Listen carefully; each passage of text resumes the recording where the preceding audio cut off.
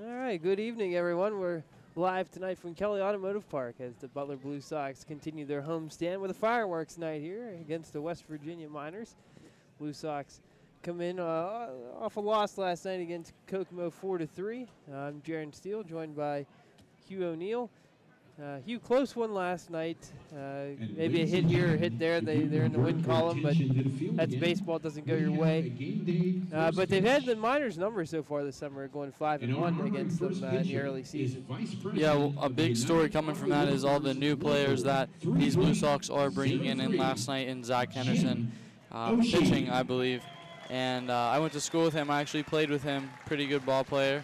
Uh, he he had an okay outing. Uh, five innings, five hits, five runs. That makes his ERA nine. I'm sure he'll he'll get that down. But you know, one start. What are you gonna do about that? So some some players also. We, another player, Wyatt Doherty, coming in. Uh, I talked to him before the game. Another friend of mine, probably going to be seeing him later in action today. Yeah, and uh, the Miners come in the winners of two straight. They swept Terre Haute a Thursday Friday series to improve to seven and nine. They're actually playing pretty well. They were one and five after the first week, so they've been six and four over their last ten.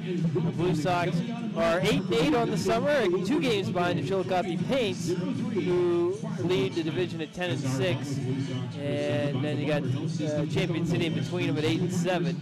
We're at the, about the quarter pole of the season here. Uh, or actually, well, we're past the quarter pole, almost to the one-third mark of the season.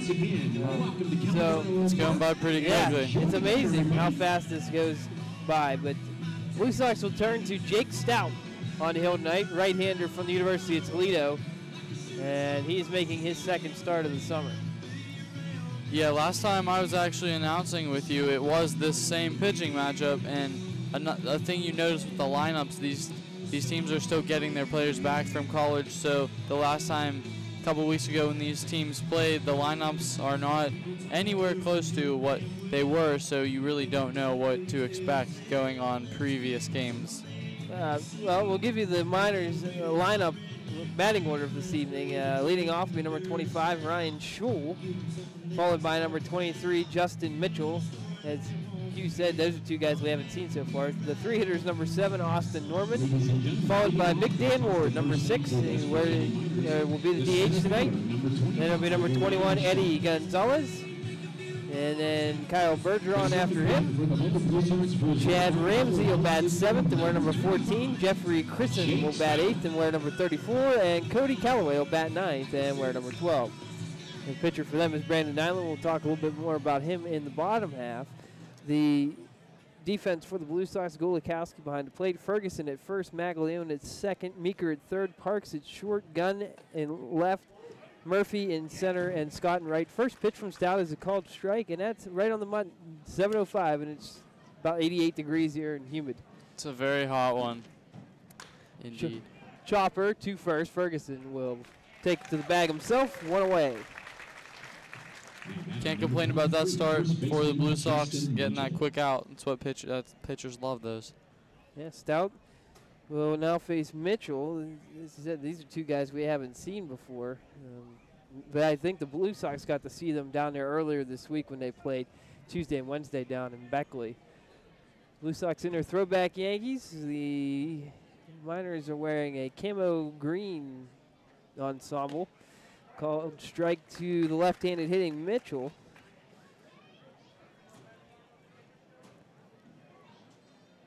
Mitchell from Longwood University.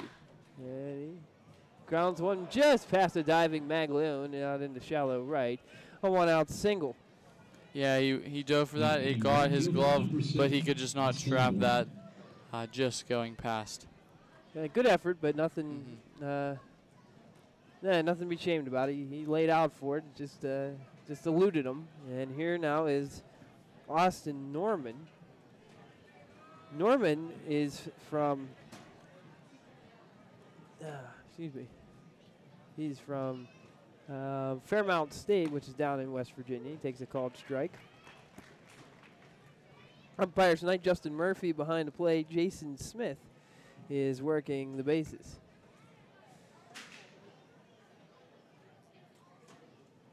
Pickoff throw. Mitchell dives back without a tag.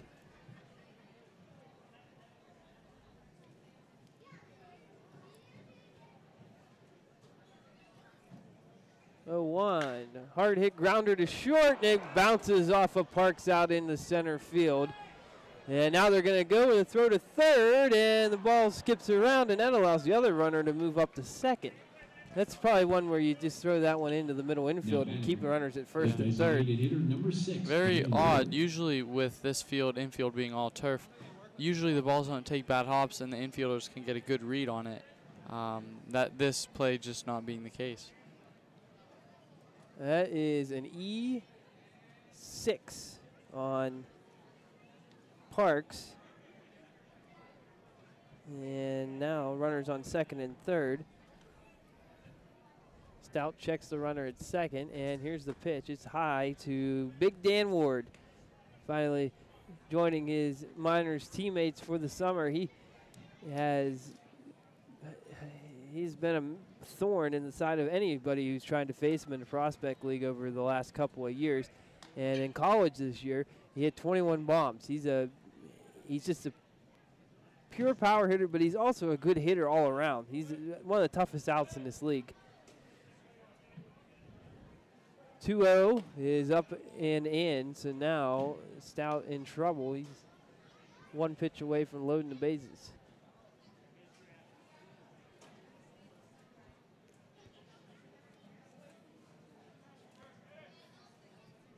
Uh, called strike.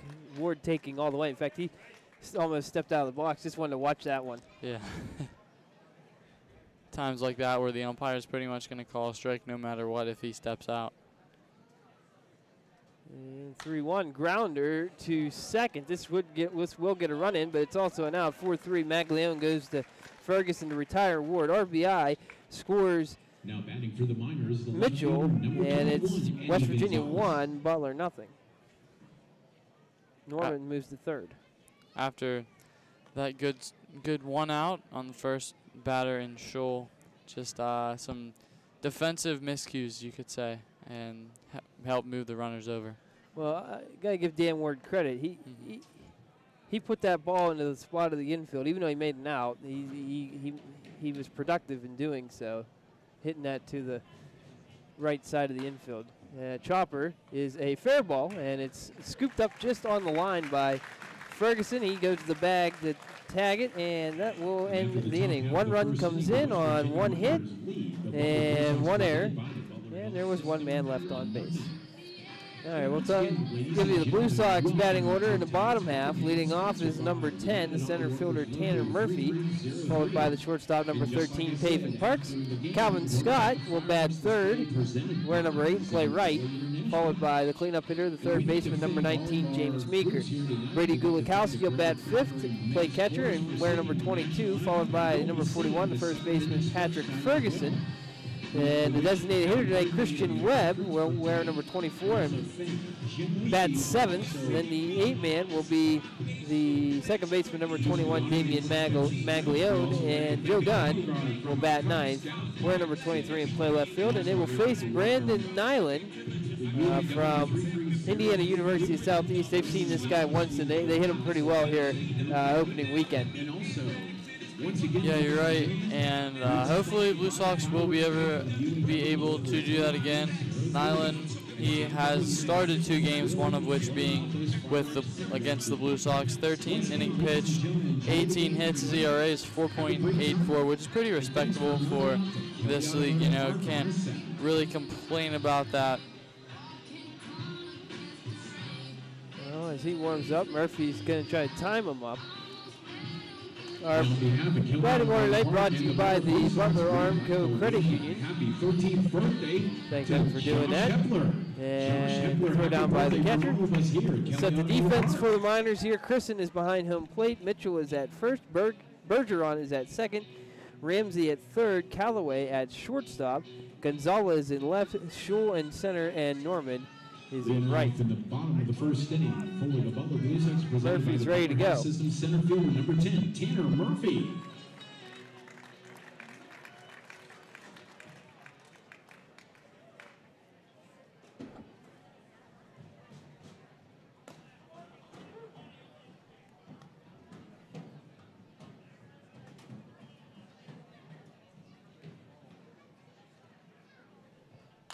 Ball's popped up by Murphy. That'll make it out of the stadium. He's down 0 2 here.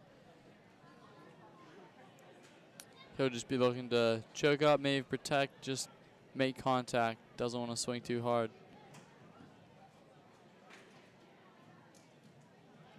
Here's the delivery from Nyland's outside. Miners go with a black hat this year. Normally they're either green or yellow. Changing it up a bit. One, two. Hard liner to second. Backhand stopped by Bergeron. Throw to first is in time to get him. Nice backhand deep in the hole. The shortstop, number 14, Haven Parks. That brings in Paven Parks. Shortstop from Kent State.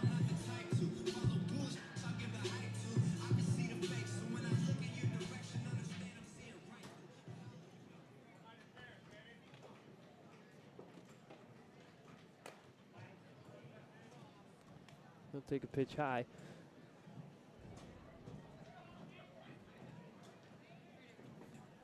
And here is the 1 0. Popped up. That's way up there. And it comes down off the net. Foul ball. That was close. It was up there about about a day and a half before it came down, but it does come down it off the net, so it's a dead ball. Even though shortstop out there, Callaway made the catch. Dead ball all the way after hits the netting. No rebounds here.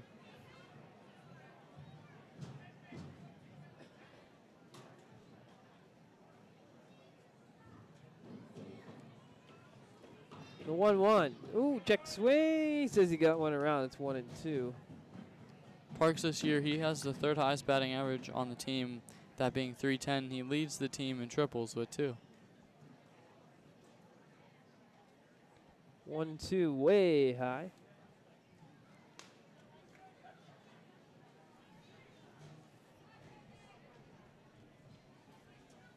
Brought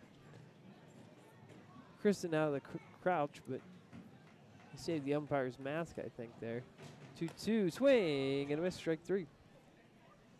Parks goes down swinging. Two down. Now batting, number 8, right fielder, Calvin Scott.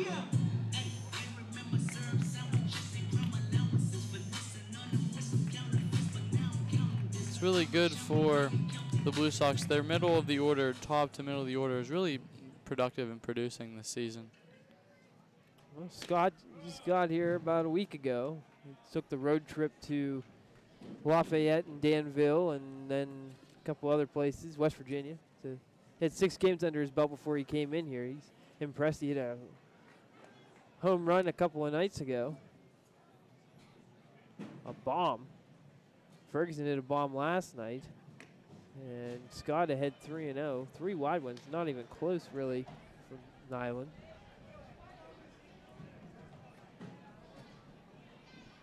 And the 3 0. You'll watch that one for a called strike. Scott from Delaware, a native of Delaware as well. That pitch just in, in there for a called strike. It looked like uh, he was going to get ball four there, but uh, stay there. He's watched five now. Here's the 3 2. Scott checks swing. Called strike three. And that will end the inning. Two strikeouts for Nyland. We'll go to the second. It's West Virginia one and Butler nothing.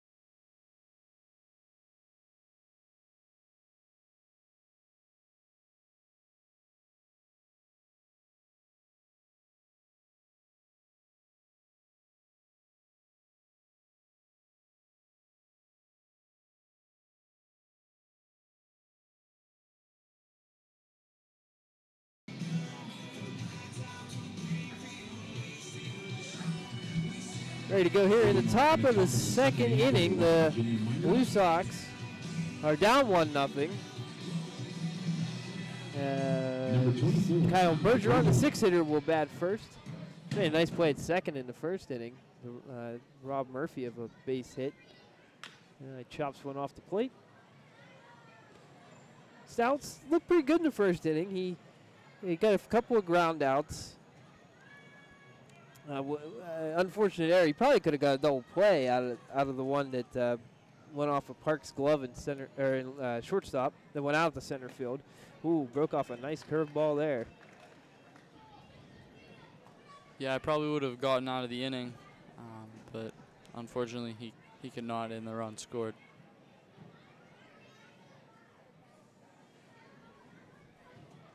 And the 0-2, the bouncer, nice block from Gulikowski. The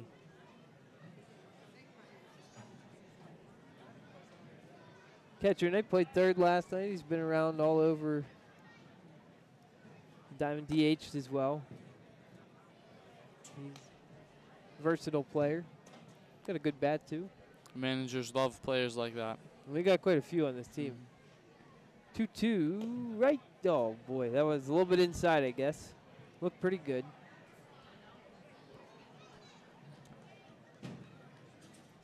So after an 0 2 count, now it's a full one. The end of 3 2. Ground ball through the hole out in the left base hit from Bergeron. 90s one of them ground balls again, get the double play ball. baseman, Yeah.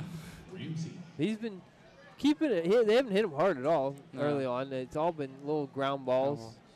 Uh, I guess the one that Parks was hit pretty hard, but it was hit right at him. And really, I'm sure he'll tell you he should have made the play. Hit it right off his glove because he went down to fi- field it. Didn't take a bad hop or anything. It just ate him up.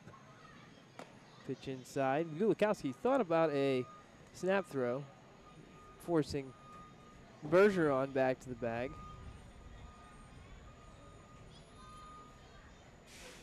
Bergeron's speeds look something to look forward to because he leads his team with seven stolen bases.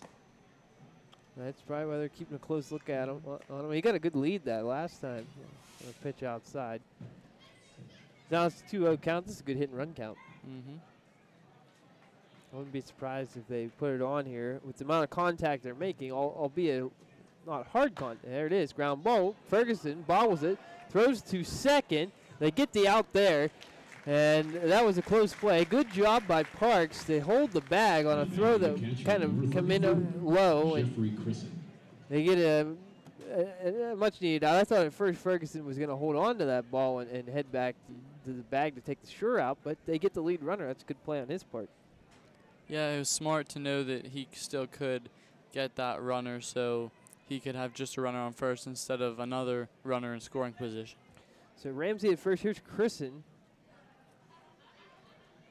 And he'll take a fastball near the letters. Kristen from Lipscomb.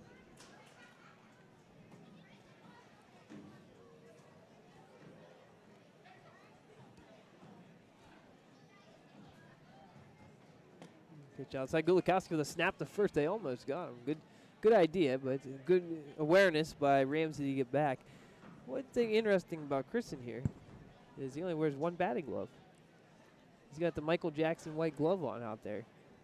I really do not understand that at all. That's a strange. I'd never seen it. Well, I have never noticed that. I probably probably seen it before, but just hadn't noticed it. But definitely It's like he's a golfer Yeah, yeah, yeah. You're right. with the left hand. Yeah. But yeah, he's got the bottom hand though. the golfer, you always put top hand on. With, with the, I think. No, it's bottom No, hand. You're it right. would be the left hand. Yeah, I'm a righty, so I, yeah, my left hand. Yeah. Well, it's uh, three and one here, and I'm, I'm lefty, so it'd be my right. Oh, okay. Well, Yeah. I know. Three one delivery is swung on a miss for strike two. Throw down to first, second, and in, in safely is Ramsey stolen base. Gulikowski not really throwing that one to his maximum potential, I guess you could say. Not that hard of a ball thrown down to second. A good jump from Ramsey uh, helped aid that stolen base. Now he's getting a decent lead out at second. Maglione is that ball fouled out of play. Maglione coming in close to the bag to try to keep him a little bit closer, but we'll see how that plays out. With one out, anything to the outfield, you want your runner on second base to score if a ball gets hit single to the outfield. A check, and here's the pitch. It's fouled off.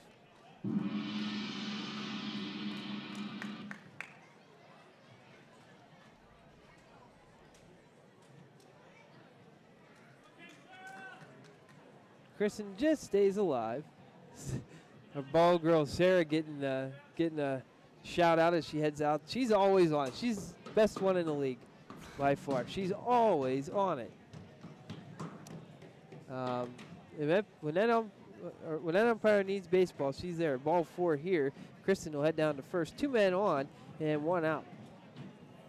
Now batting for the Miners. Now the bottom of the order in Callaway. Cody Callaway.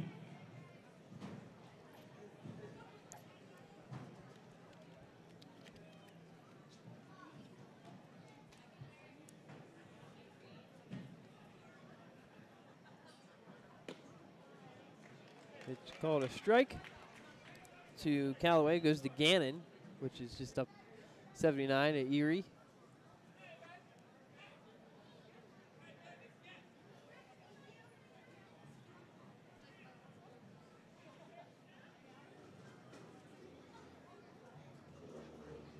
Now ground ball just past Stout. This could be a double play ball. Stepping on the bag is Parks. Throw to first. He got him. A 6-3 double play. And that's how we'll end The second inning, no runs come across on one hit, no errors, and one man left stranded. We'll go to the bottom half of the second with West Virginia leading 1 0.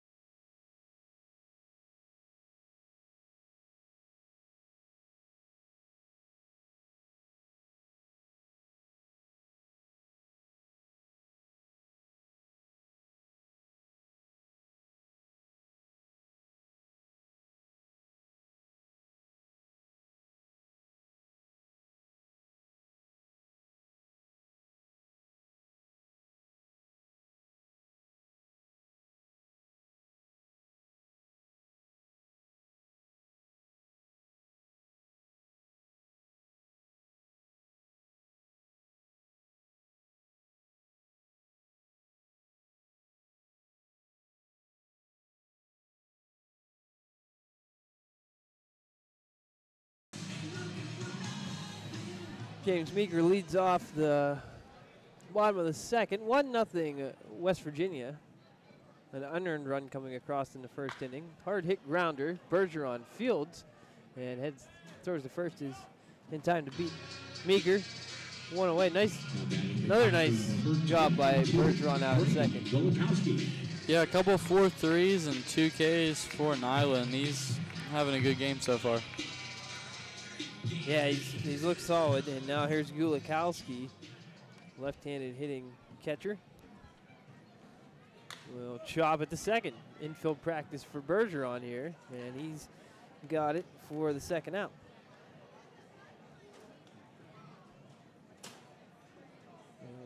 Uh, working out Bergeron here. He's making all the plays. Number 41, the first baseman, Patrick Ferguson. Now here's Pat Ferguson.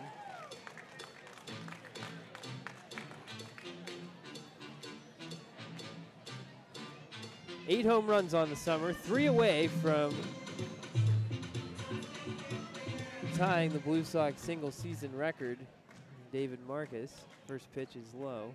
That's crazy. We're so early in the season, and he's already he's only, three home runs away from from that. Here's the 1-0. It's called strike.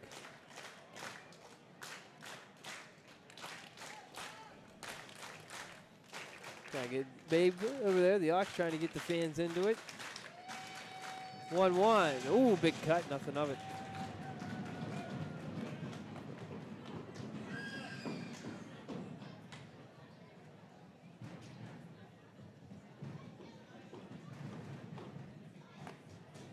Outside. Yeah, Ferguson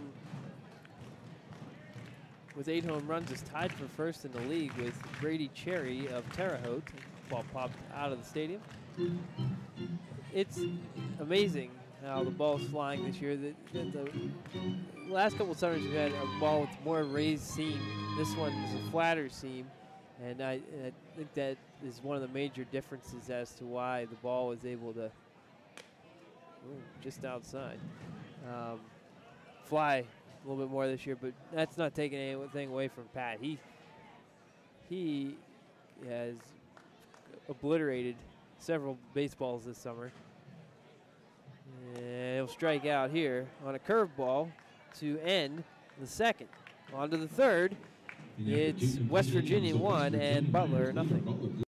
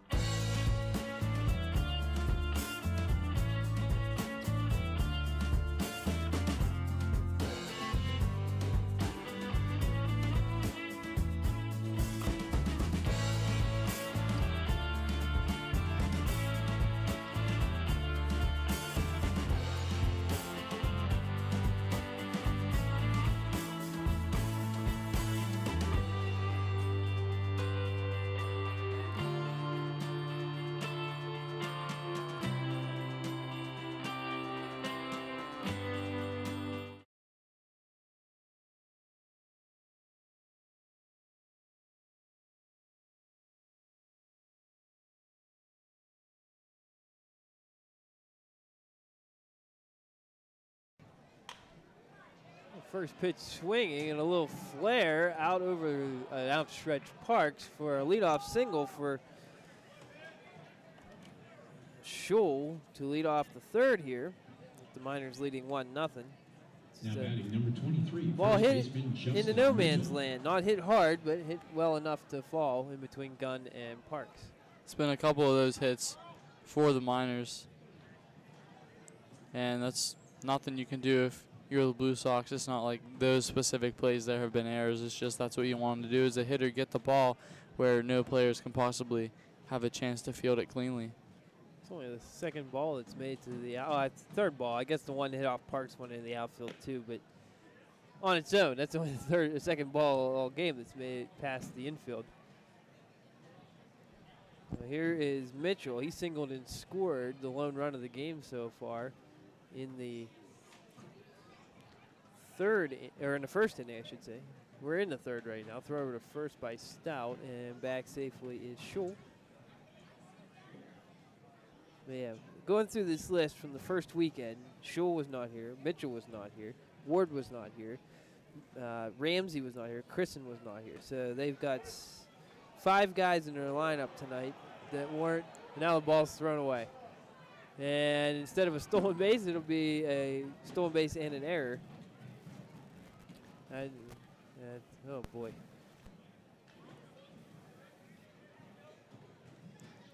That's the second time that the Blue Sox have been throwing the ball around. Yeah, that's the second error on the game. I, Yeah. Who do you give that one to? Hugh. I don't know. Probably have to give it to the guy who threw it. yeah, I would assume so. Unfortunately, usually nine nine times out of ten, the error is on the guy who threw the ball. Mhm. And so we got a two-one count. Now all of a sudden a runner on third, and nobody out. Here's the pitch. Chopper to second. This will do it. As Maglione will go throw to first to get the out. Runner comes home to score. The Miners lead two nothing, and they've got two runs tonight on on on uh, Blue Sox errors. And that's uh, that. That was a trend in the early part of the season. Seemed to remedy that the last couple of nights. They we we um, played a couple of pretty clean games in the field, and uh, tonight it's kind of gone the other way a bit. There's one down here's Norman. He reached on an error his first time up. 1 0 popped up, way up, and Gunn fighting the sun is under it and has it for yeah. That's not an easy play out there with the sun beating in right into his eyes, and uh, he did a good job of shielding himself and picking up the ball to make the catch. Because guarantee you, he didn't see it off the bat. Oh no, definitely you could definitely tell that because he, he did not take a straight line back to get the ball. He was a little left and right all over the place just because he did not see it right off the bat. Well, he makes a nice play out there. Well, Chew down. Here's Dan Ward. Stout's first pitch is inside. Ward uh, recorded an RBI on a ground out in the first inning. Went to Tennessee Wesleyan this year where he hit 21 homers uh, in a college season is pretty impressive. Yeah, depending on how good the team is, if they make it to the playoffs, you're looking at like between 40 to 50 games. Hard hit ball, but foul. Yeah, I, I, think they played like 44 games. He had 21 homers. Yeah, so it's about one every two games. Yeah.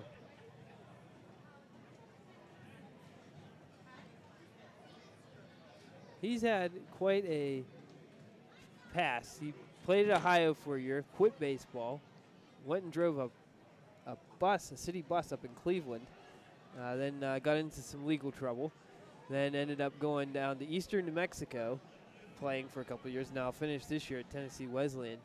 So he's been he's been all over the place, and um, he, he's definitely a, a, a, a super talented player. Um, 26, he's one of the older guys in the league, and I think he'll be moving on to pro ball once the season's over. Pitch is away for ball four, and a two-out walk puts Ward on first. Maybe he'll be like the like Cody, the manager, and play for the Wild Things, move up Yeah. into a different league. I could see him going to the Frontier League or the American Association, or even um, even getting signed by, you know. And then I, I, I'm gonna guess he's gonna have to go independent ball first because he wasn't drafted this year. And if you're not drafted, you're. Ooh, that ball to the backstop, and Ward will head to second on a wild pitch.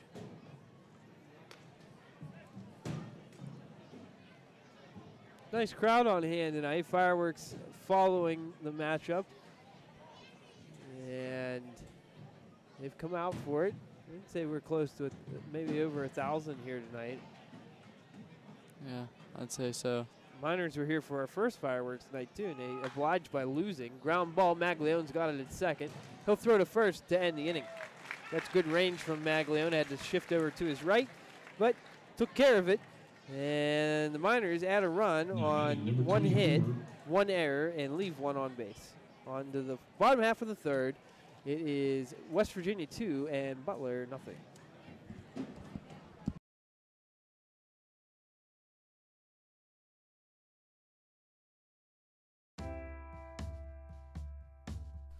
It's time for each and every one of us to face a very troubling fact. There exists Third out. I'm Yeah, it would have been the here. third out. I guess. uh, Well, he's still in the box, so it must have. I apologize. It must have hit his foot and then went out to second base. The fa- the, the team went off the field. Some some of them started off the field, and then I looked down, was going through my line score. Look up, he's back in the box again. In order, in order for that to get that second base off his foot, he must hit that ball real hard. And now he hits it out into right field and fairly well. Scott going back to the wall, and it is gone. Can you believe that? Can you believe that? A home run? Oh my goodness! It's now a uh, four nothing game. Yeah, that's not really. That's that's not good. Very weird circumstances, right there. I wish we knew exactly what the call in the field was. That's that's the only thing it could have been. It, it hit his foot on his way out to second base. Uh, There's not nothing else that I could come up with. It wa- it was a hard grounder to second, and he threw him out, and he even ran it out. Ah. Well, nobody made a fuss out of the in the Blue Sox dugout, so it must have hit his foot or some part of his body. Because as soon as it hits a part of your body, it's dead. It, it- it- when you're in the box still. So that's, oh my. Huh.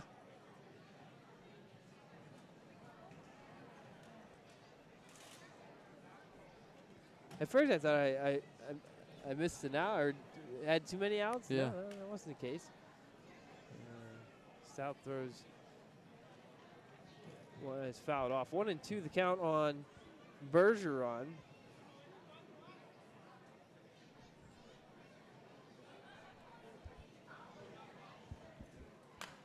Ball popped up. Here it comes. No, it's going to make it on top of the stand. Wait for it. There it is.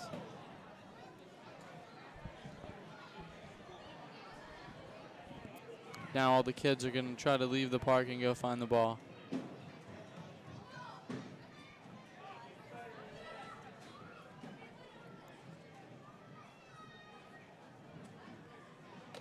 Pitch inside, two and two. Even though they're not allowed, they still will. the interns need to do a better job of not letting them, not letting them do that. It's hard to track kids. now it's three and two. Stout trying to get the last out of the inning here. And here's the pitch. It is popped up into shallow right. Coming in is Scott. He's got it, and I can tell you that that's the last out of the inning. Three runs come across for the And the Miners on two inning, hits, one error, and there is no one left on base. by Butler Health On to the bottom of the third. Miners four, Butler nothing.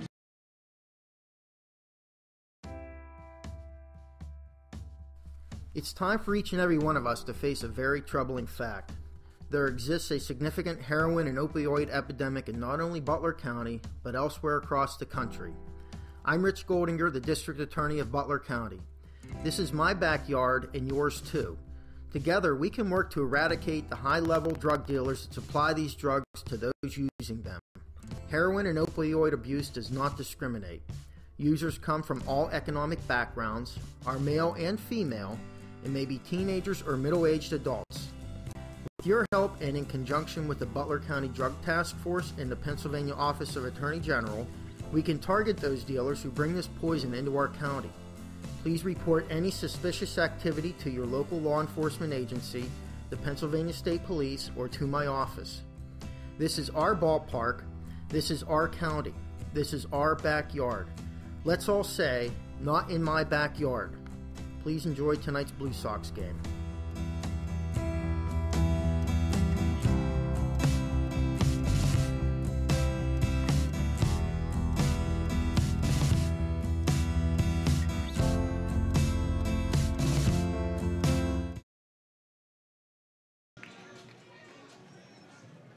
Bottom of the third, West Virginia four, Butler nothing. Roller up the first base line. Taking it to the bag himself is Mitchell. Webb is retired. And that's seven in a row for, to start the game for Nyland. uh, we were talking off air, uh, talking to Pat. He come out. He was just, just confused as I was about that. We have to go back and watch the replay on the video and not listen to the audio because it was it, it doesn't match the video. That's my bad. But we're we can't tell if. Well, here's a ground ball to second. Not gonna let me finish this. Four three is the put out of Maglione. Their uh, their first pitch swinging. They're coming up empty. Now batting for the Blue Sox, Really, number 29, really giving Bergeron practice. Yeah, how about That's four. That's Yeah. the fourth. four, two, three strikeouts and uh, three unassisted. Eight in a row retired, and Nyland, I, he might have, I, I don't have the, the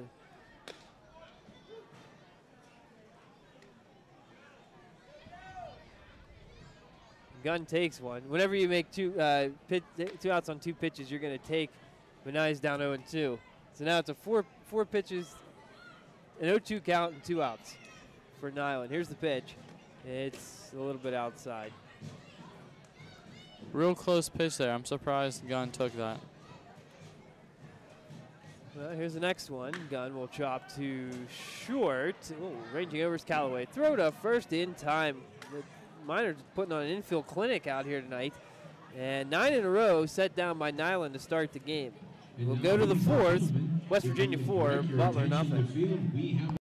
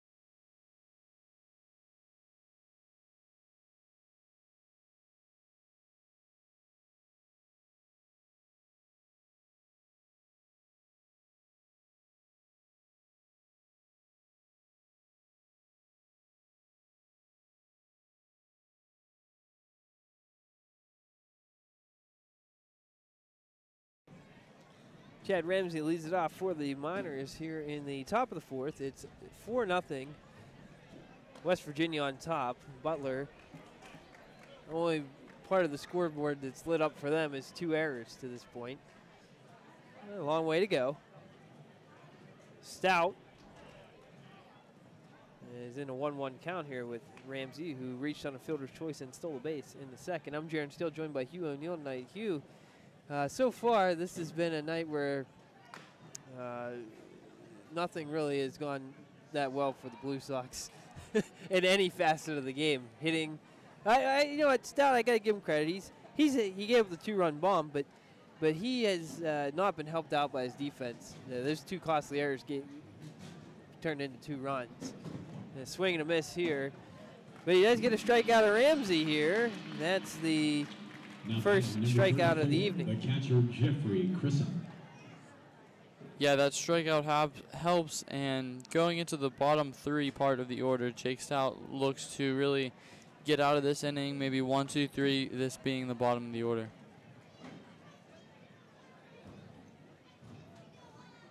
Pitch is low and away to Christen, walked in the second inning from Lipscomb University. Takes a pitch. He's ahead 2 0.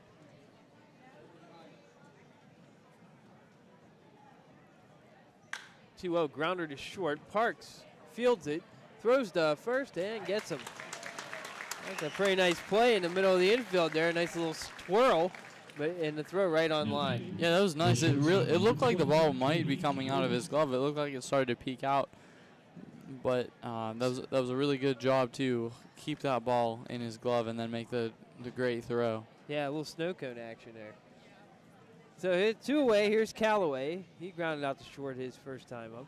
Half the miners come up. They have their jersey flying wide open. it's, It's a hot, hot, yeah. It is a hot night. Ground ball to short. Parks bobbles it, recovers, throws to first, and gets him. So just like you said at the top of the inning, Hugh, you wanted to get the bottom of the order one, two, three, and that's exactly what Stout does here. We'll go to the bottom of the fourth with the Miners ahead four nothing. And this inning break is brought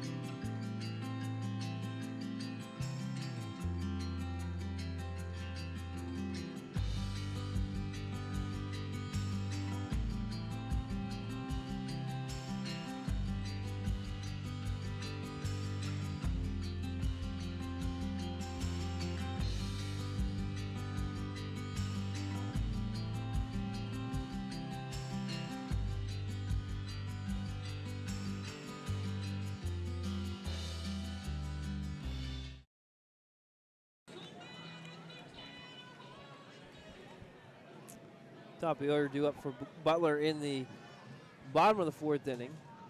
Murphy Park Scott trying to solve Brandon Nyland, who gets the first pitch curveball across. Slider, one or the other. Breaking pitch. Yeah, Butler looking still looking for its first hit. Really haven't made any contact against him of, of any. The, actually, the hardest hit ball was by Murphy, but he was robbed of a hit by by uh, Bergeron. Bouncer in, two and one. Nyland showing good good control. Hasn't even allowed a walk or anything. No Blue Sox has reached ba- base at all. Two one. It's right there for a called strike.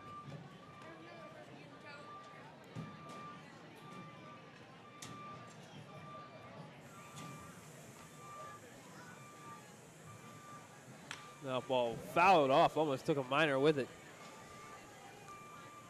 in the dugout, but thankfully he was able to dodge it.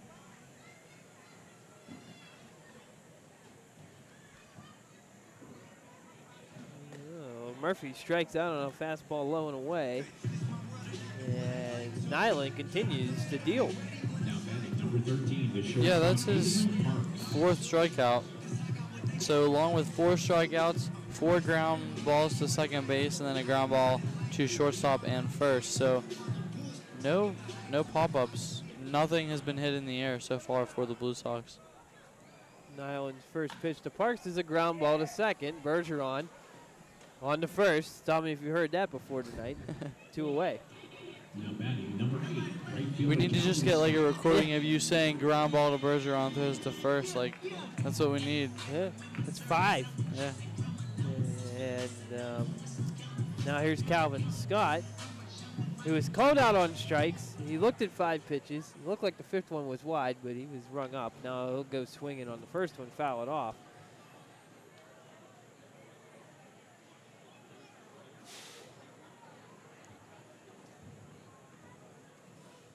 Actually, he looked at seven. It looked like the, the seventh one would have been wide, but Yeah. no, six. It was three and two. Six. Yeah. Math. All right, so Scott is in a 1 1 count here. Here's the pitch. Yeah, he's going to chop at the third.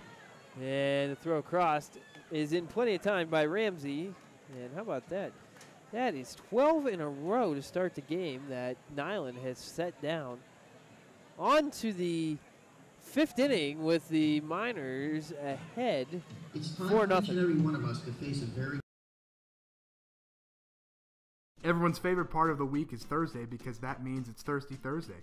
Come out to Kelly Automotive Park each Thursday to support your favorite hometown team, the Butler Blue Sox, and enjoy our special concession prices, including $1 draft beers and 50 cent pops. Tickets start at just $7 and can be purchased online at butlerbluesox.net and or by phone at 724-256-9994. Let's go Blue Sox.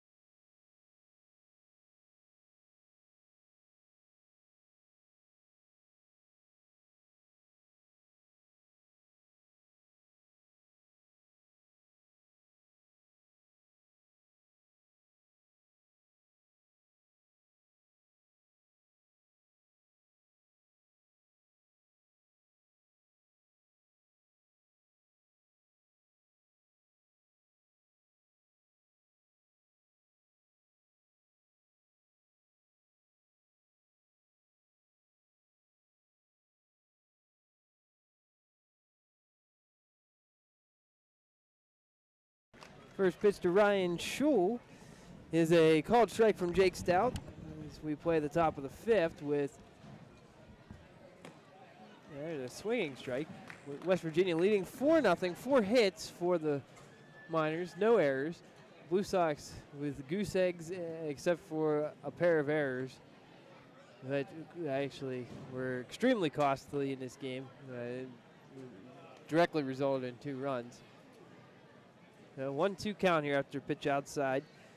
Schul is one for two, singled and scored on in the third. Ball popped out of the stadium here.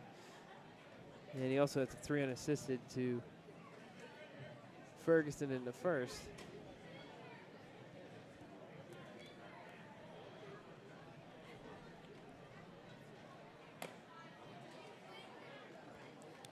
Yeah, this being Schul's third at bat, some of the guys for Butler have only had one so far Yeah, with being no hits. six of them. Yeah.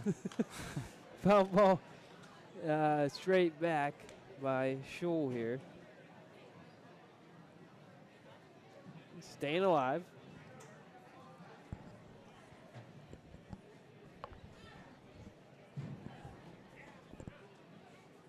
Two two swing and a miss, and Gulikowski.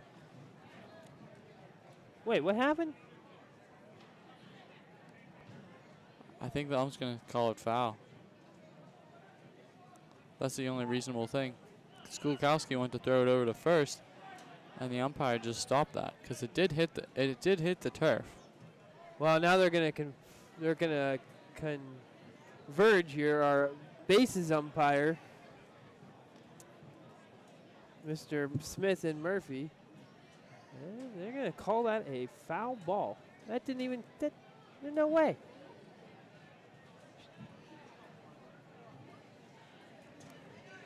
Yeah, I'm not too sure on that. If that was a foul ball, then well, it didn't even make any noise. No. And if that was a foul ball, it must have just grazed one grain, the ball, one grain of the bat. Oh my. Two two, and that's oh jeez. That's exactly what happens too. Now it gets by Gunn out into left field. That's going to be a, a triple. Gunn's throw pretty good, but he's in with a triple. That's twice that a a weird play has happened that we don't know the direct answer to, and it has hurt the Blue Sox. He did not foul that ball off. I'm sorry. He didn't touch it. And now he gets rewarded with a triple. Poor Stout. Poor Jake Stout. Yeah, he is. He's had some bad luck this evening. He's overall pitched a pretty good game. Just that one mistake pitch to Bergeron. Or, yeah, Mitchell, the big cut, misses. or Gonzalez, not Bergeron. I'm so used to saying Bergeron's name with all those ground balls to second base. It's just in my head now. 0-1, right there for a called strike. Good pitch from Stout. Miners already ahead for nothing, looking to add another.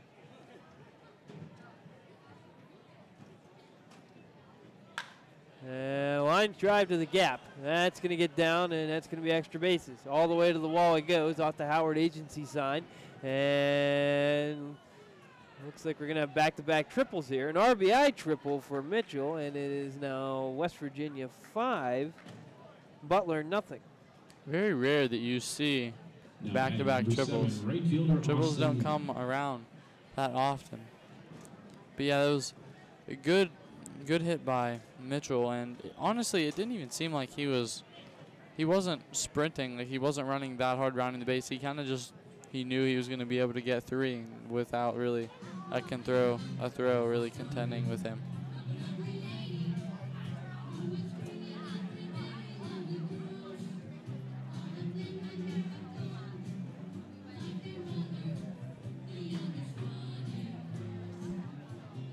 Well, Josh Forbes out to talk with Stout. Give him a breather here.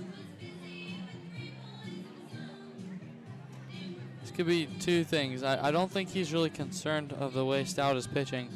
Um, just trying to break up the momentum from West Virginia. I know I did that today. I had a game with my pony team, and multiple times I had to go out there because of defensive errors and mistakes.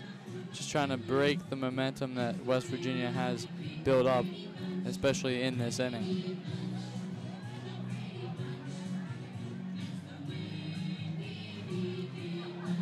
Umpires joined him. He's trying to get this game moved along so we can go home. I, I swear that ball did not get fouled. I'm thinking about it in my head and during this uh, while you were talking there. I'm replaying that in my mind. But they didn't really argue it, so maybe he did. I don't, but I just, it looked like it was a footer and underneath his bat. Pitch inside to Norman, who is 0 for 1 well, he did reach on it. Actually, 0 for 2, reached on an error. The pitch is a called strike. 1 and 1 on the outer half.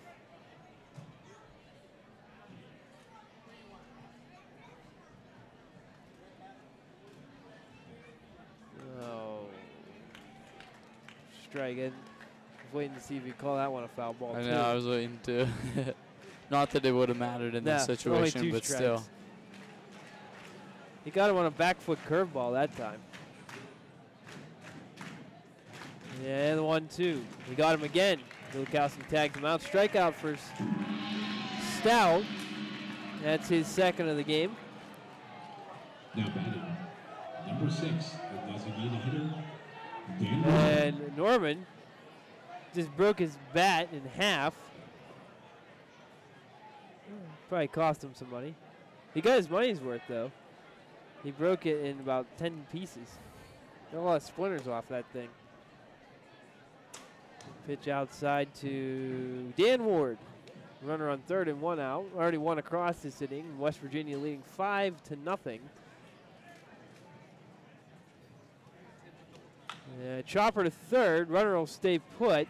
And Meeker will throw across to get him out. Ward is retired 5-3, two down. Good job by Meeker to look the runner Mitchell back Now to the batting bag there and number 21, you know, left fielder, Eddie dissolve any thoughts of trying to sneak home on that. Yeah, you read my mind. That's what I was. That's what I was about to say. it's very crucial because if you don't look that runner, he's definitely going to score. Yeah, he's going to sneak right in behind you and then take off after you had you throw it across. So he does a good job there. Here's uh, Gonzalez. He homered his last time up. He cuts and misses at a curveball. Pretty good curveball. Got some life to it. He's used it well this inning. You got Norman to strike out on it. Now he comes back with a fastball. A chopper off the plate. Stout has to wait for a while for it to come down, but he gets it to Ferguson in plenty of time to finish the inning. Two runs come across, or one run comes across on two hits, I beg. And no errors, one man left on base. To the bottom half of the fifth we go with the Miners leading five to nothing.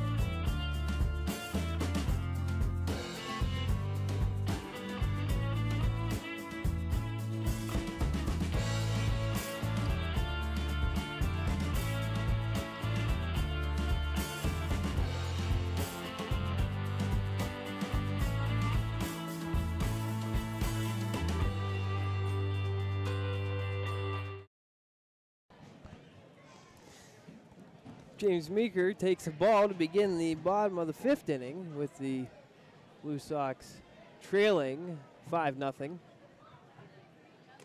now he's ahead 2 0.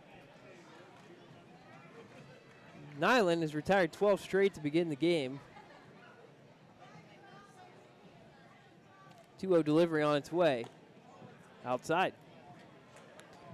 Yeah, we keep mentioning this, mentioning this, and some say that you know, when you mention if someone's having a perfect game, you really jinx them. So hopefully that will work. Well, there know? it is. Yeah. He just jinxed it. Ball four. First base run of the game for the Blue Sox is Meeker. Four wide ones from Nyland. Okay, so he is not allowed to hit either. Yeah. uh, Kokomo and Champion City tied at three in the top of the fourth. Danville two, Quincy nothing in the bottom of the second. Chillicothe 4, Terre Haute 3 in the top of the fourth, and Lafayette 3, Springfield nothing in the top of the fourth. Yeah, first pitch to Gulikowski is a called strike.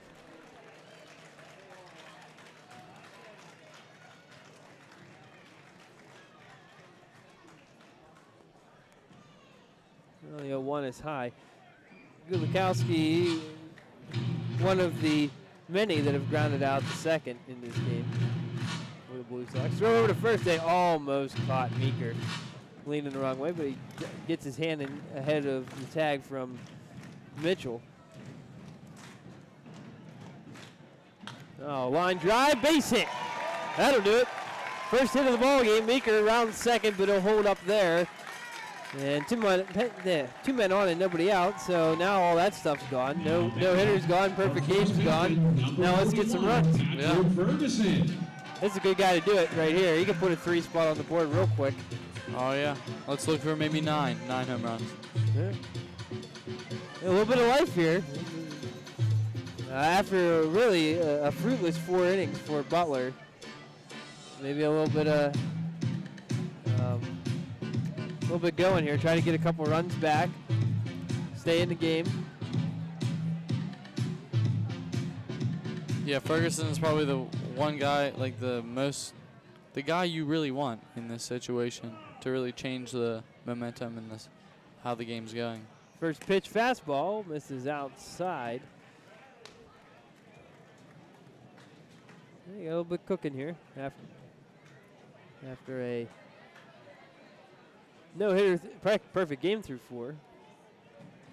Here's pitch. Ferguson, oh, he wanted that one, but he fouls it out of the stadium. Just got on top of it.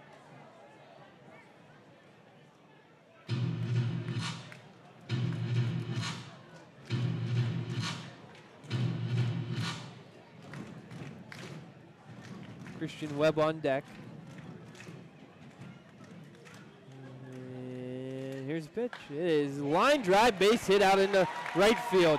Hold, runners hold, and oh my goodness, they almost got the guy at second base.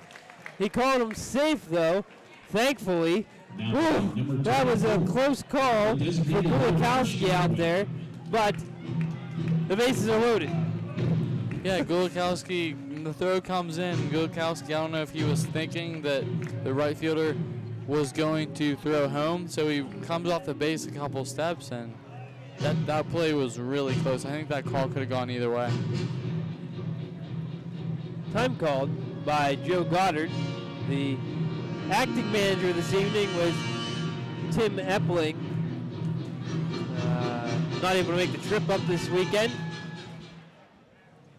And so Joe Goddard, a longtime baseball man, is coaching the team along with uh, Mr. Larkin. They're in good hands. And after you know, rolling through four innings, you can understand why he went out to talk to him. Yeah. Three straight base runners. First pitch is right there for a called strike to Webb.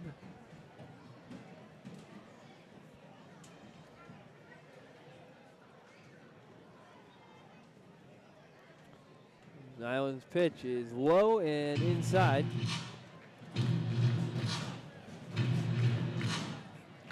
We've seen the Blue Sox make some major comebacks before. They were down 7 nothing after the first inning out in Lafayette, only to come back to take the lead before Lafayette come back to get the win. And ball is in sinking out into shallow center.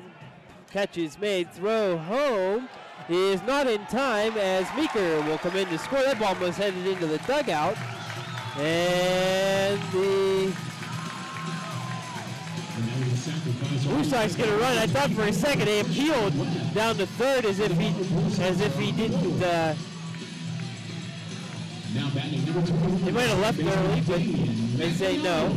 And so Webb's sacrifice fly to center field makes it five to one. Kind of surprised that Gulikowski didn't uh, advance to third. I understand that it was very it was a very shallow ball, um, but with that throw, once he saw the throw and going home and the ball getting past the catcher, you'd think that he would be at third base right now. Well, here's Maglione, and he, he has a ball hit pretty well out into right field. That is a fair ball. And no, no, he called it a foul ball. Oh my, just, just foul apparently. It took a while for him it to did. call that foul because I, it absolutely did. It must have been extremely close, but it does not go Butler's way. Maglione, he was halfway to, he Second. was almost at second. Yeah, he was halfway. He rounded first before he called that a foul ball. Oh, that was that was trouble, trouble for the Miners if that was a fair ball. Yeah, you, that's at least scoring two. If that's a, if that's fair, and it honestly may, might be a triple.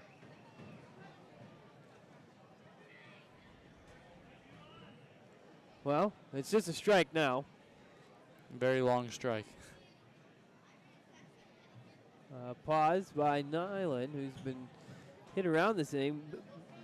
Maglione showed bunt, pulled it back. Ball blocked nicely by Christen. Uh, that, that ball gets away from it all. Both runners are going to be in scoring position.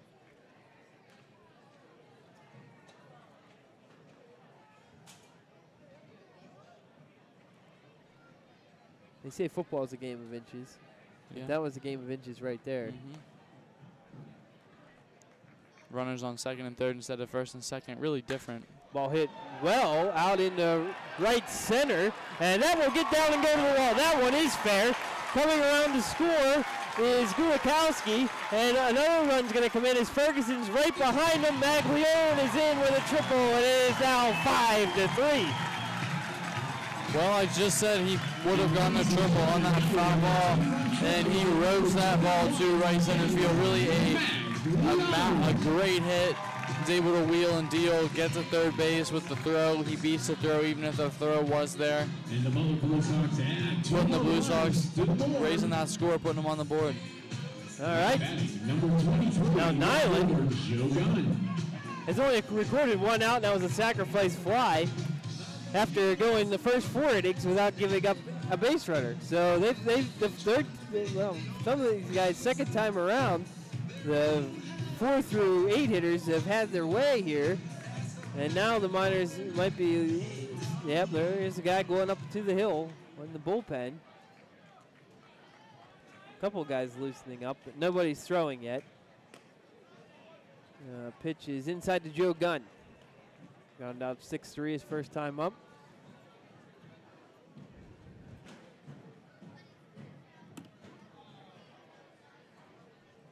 Now a line drive to center field. That'll hang up.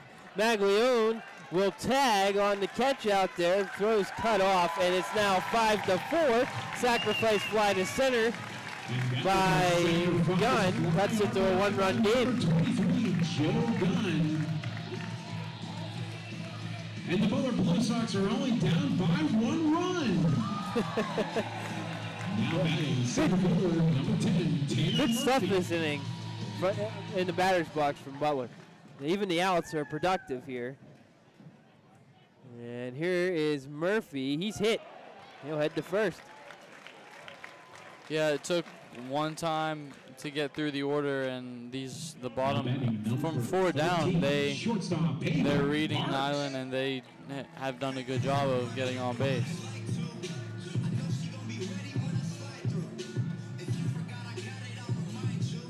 Action in the bullpen now.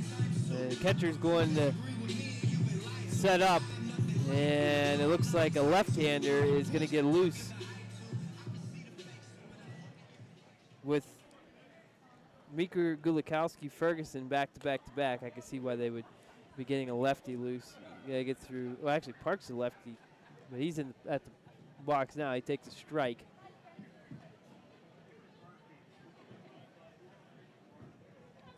Throw over to first, and Murphy dives back safely.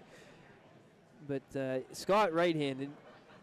But after that, the three straight, or four straight lefties with Webb in there too.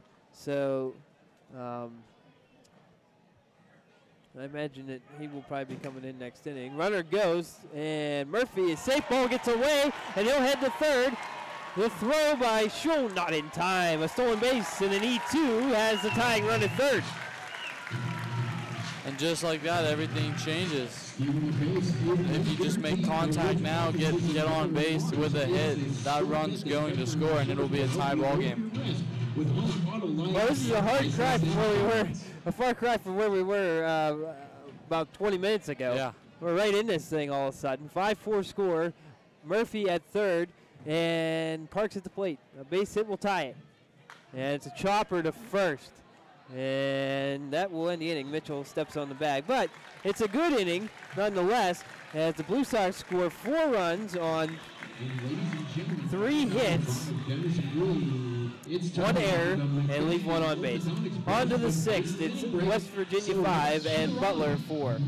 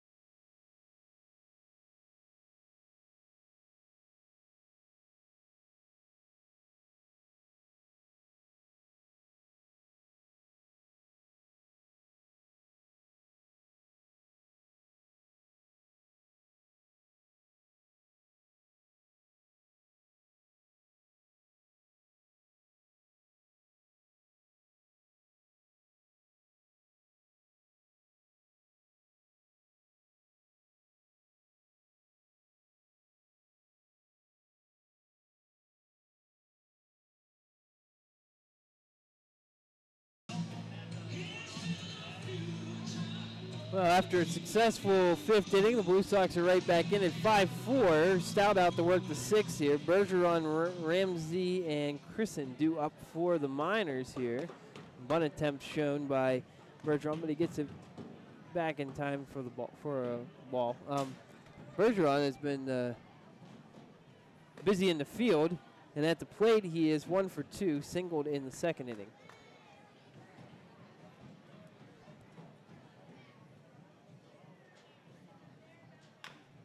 Little chopper off his foot. Bergeron from the University of the Incarnate Word. I have never heard of that before. I did uh, prep for him. I've never heard of it until just now. Bunt attempt, and he's not able to make contact. It's two and two. I wonder where that is. I i if he's from Texas, so Get on the old Google. We'll figure it out. If it loads. Pitch inside. Full count to the leadoff man in the sixth, Bergeron. And now he gets hit. yeah, a three-two count. That's not great to be hit. You know, if it's an 0-2 count as a batter and you get hit, it's it's pretty good because Yeah. you get on base uh, as opposed to striking out or getting out. Three-two count. That's not really what you're looking for. You're looking for a ball. Well, that'll be it for Stout. And it looks like Wyatt Docherty's going to come in to replace him. The new Dick's Sporting Goods is located at Stout goes five plus. Dick's is your non-stop destination for premium sporting goods. And at the moment, he's allowed brands you love. Five runs, uh, three earned on and North Face, and shop a wide selection of team six hits. and merchandise from the Pittsburgh Steelers, Pittsburgh Pirates, and of course the Stanley Cup champions, Pittsburgh Penguins. Two walks and a pair of strikeouts. Team Sports Gear. Yeah, athletes Dougherty coming in, making his first appearance. He attends Slippery Rock University. Uh, last year, he had a record of two and two through 17 times. Uh, he started one game, had four saves. He pitched uh, 32.1 innings. His his uh, his batting average against was .276, so 276. Um, that's pretty good for college. Slippery Rock being D2.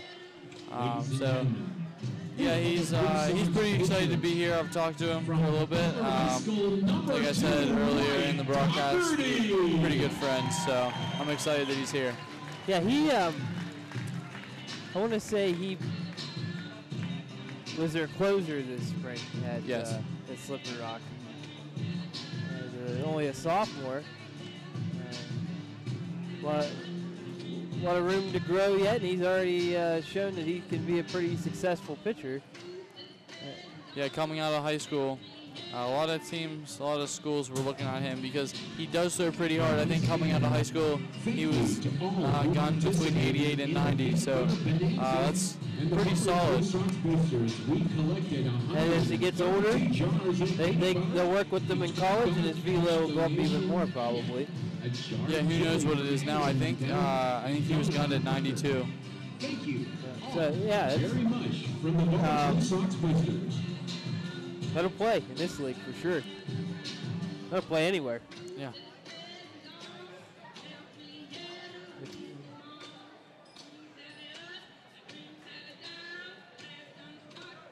Oh, by the way, uh, University of the Incarnate Word is in San Antonio. Okay. Thanks, Google.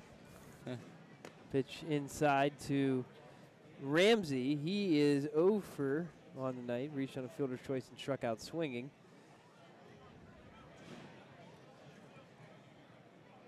Runner at first with a bit of a lead. Bergeron. Doherty comes home and misses inside.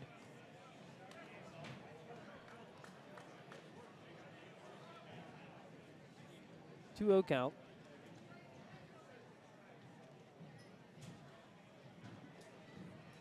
Yeah, Pitch again inside and low.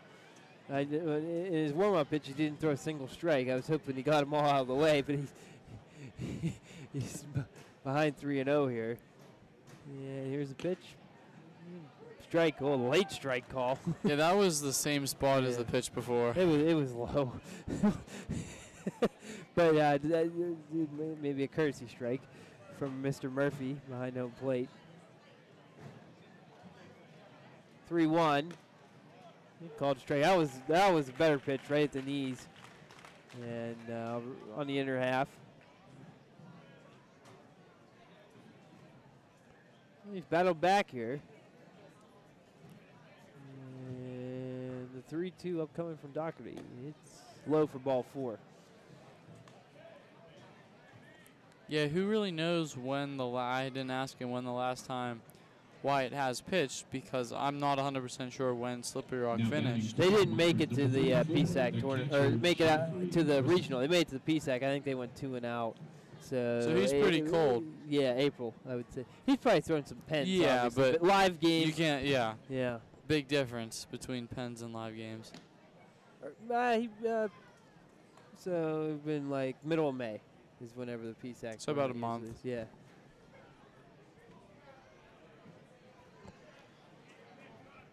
Pitch inside to Christen.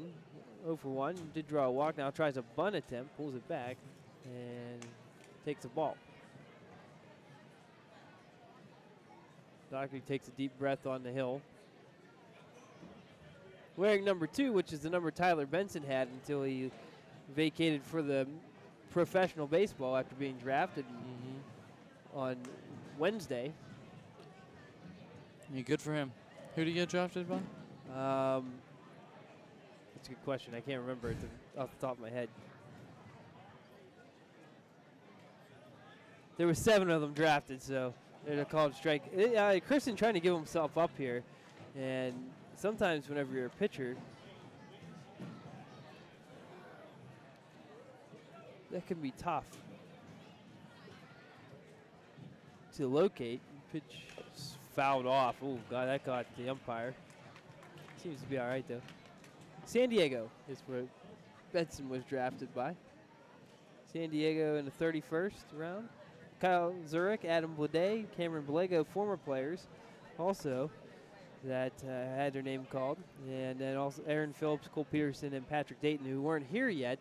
Runners go. The ball's fouled off. Spoils a great uh, jump by Callaway. He have been in there standing up. Yeah, Dayton, Peterson, Phillips were on the roster at the time they were drafted, but uh, they were all waiting for the draft results before they came in. And unfortunately, they're not going to make it here now Yeah. because they're all uh, headed to their respective uh, short season leagues, whatever the affiliate is for the teams they were drafted. Pitch high, and that's ball four, and the bases are loaded with nobody out. Now Yeah, number Doherty having a little bit of control issues to start the game. Hopefully, uh, start the game for him in this inning. Hopefully, he will be able to settle down.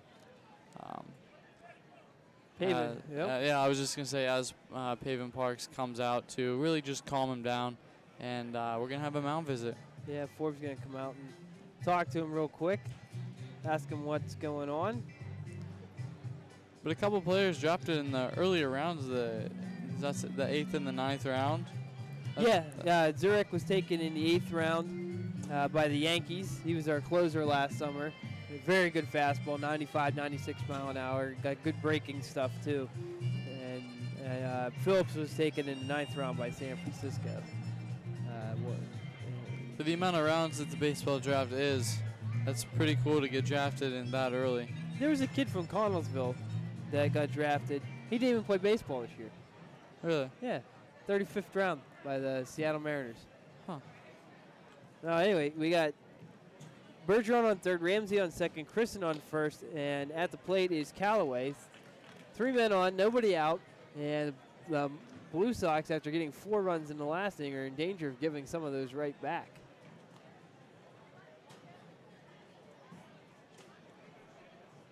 Here's the 0-1. Foul ball straight back.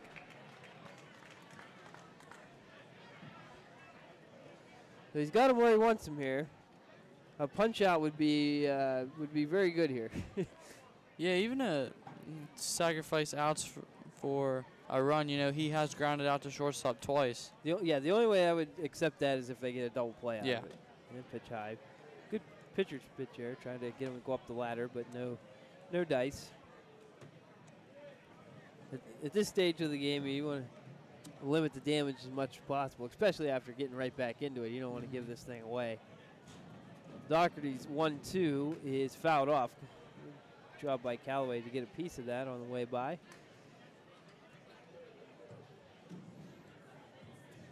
What was a real fast-paced game, uh, the past whole inning has been decently longer than the rest of rest of the game. Yeah, it's it's definitely uh, brought the average back down. Pitch Yeah. high, two and two.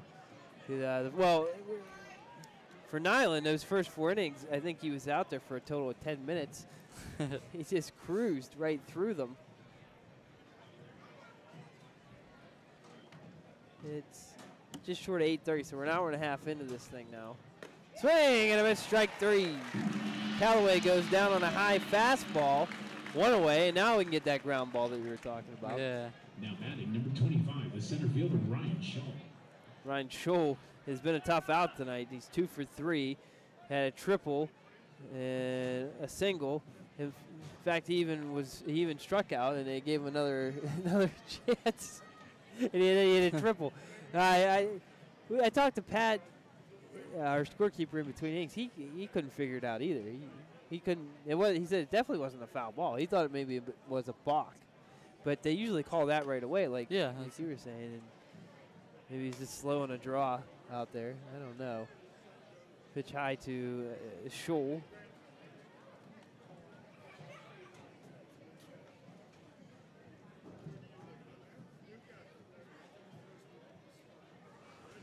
One out is high as well.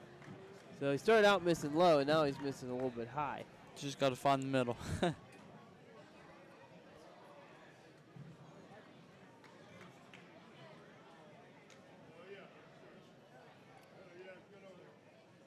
nice to look up at the scoreboard and not see zeros for the home team. Yeah, pitch upstairs now. It's one pitch away from uh, walking in a run here. Looks like a lefty warming in the Blue Sox bullpen.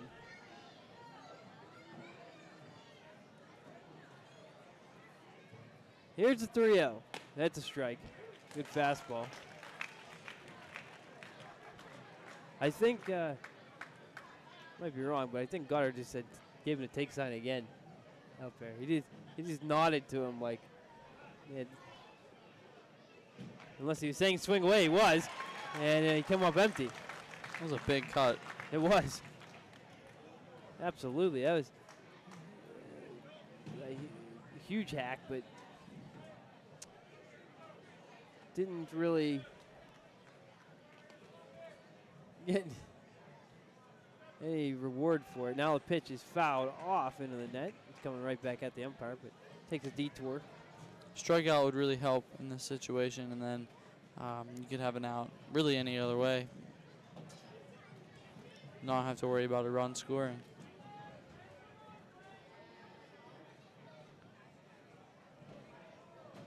Three two. Oh boy, that ball is smoked to right field, but it looks like the ballpark is going to hold it.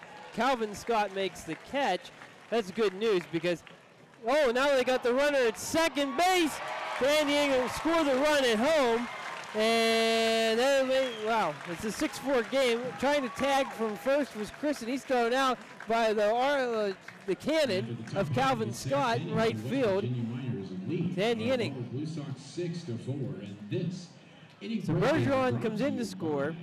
Sacrifice fly and an RBI for sure. It was close to being a grand slam. But That's that's not bad for bases loaded with nobody out to only give up one run. We'll go to the bottom of the sixth with the Blue Sox down six to four.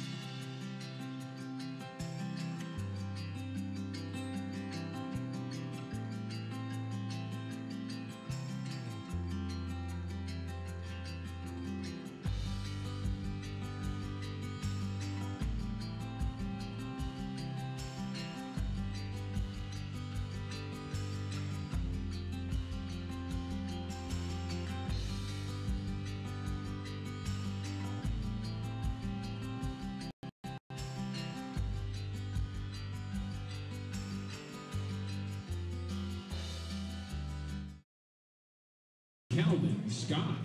Ready to go here. Calvin Scott gets the lead off after making a great play at the wall to get a get an out and then fire a second to get the, another out.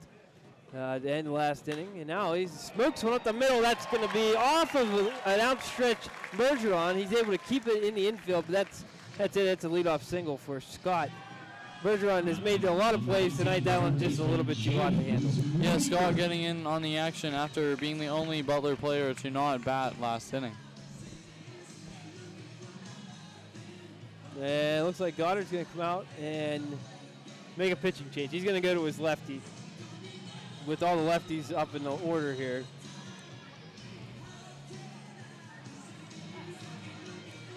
That lefty-lefty matchup is something that the pitchers fav- are in favor of. Visit is brought to you Have the the- Butler have a little bit of an advantage. Award-winning Well, program has consistently Nyland will go five plus, just like his counterpart. organizations such as Healthgrades, Thompson he Harvard, uh, allows Butler Four runs, but he's responsible for the runner on base right now.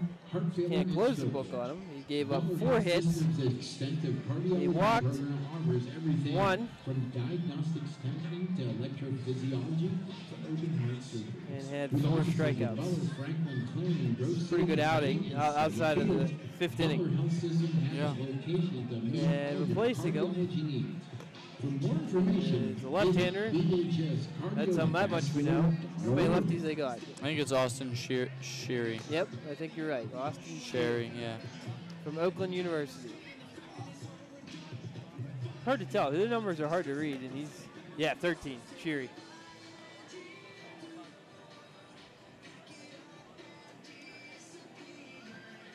So Sheary from Ohio, New where, pitcher for the um, West Virginia Miners, an Ohio native. Westerville, will try to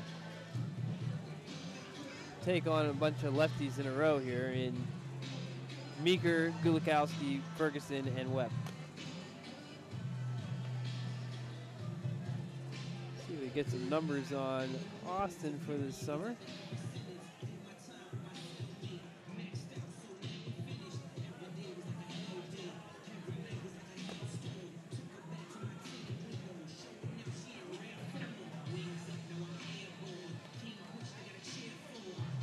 Load eventually.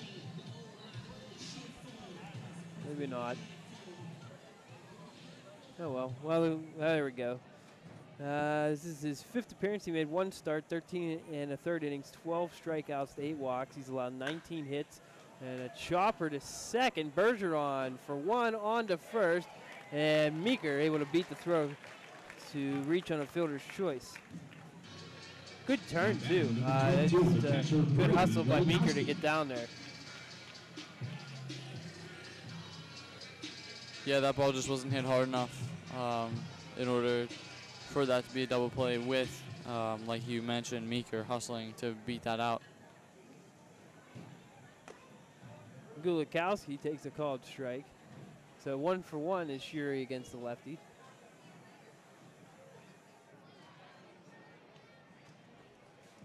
Pitch inside.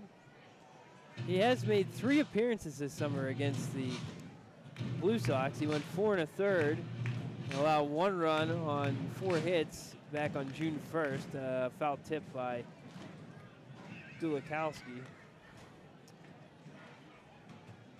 And then two innings on June 4th, allowed one hit.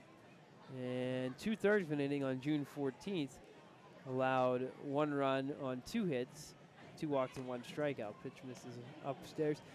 And every time that he has pitched against the Blue Sox, the Miners have lost.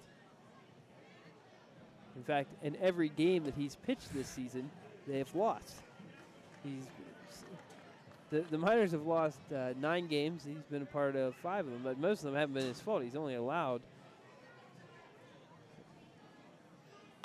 eight, eight earned runs all summer. Ball hit out into left field. Plenty of room and plenty of time for Gonzalez. He's got it two away. Hopefully that streak, five-game losing streak continues with uh, games that Sheary pitches. Yeah, that's.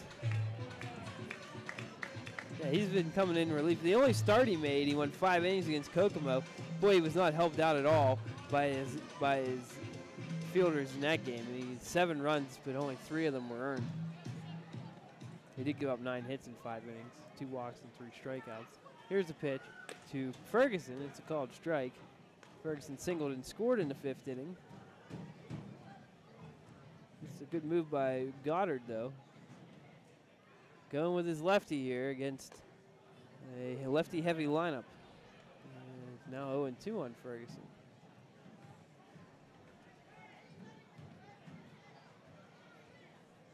And here's the pitch. That's a little bit outside. Sure, he kind of got a uh, three quarter delivery. He doesn't go over the top. Not a very big guy. He throws pretty hard from that three quarter angle. And Ferguson's down on strikes to end the inning. No runs, one hit, no errors, and one man left on base. We'll go to the seventh with West Virginia. It's leading six to four. Six to four.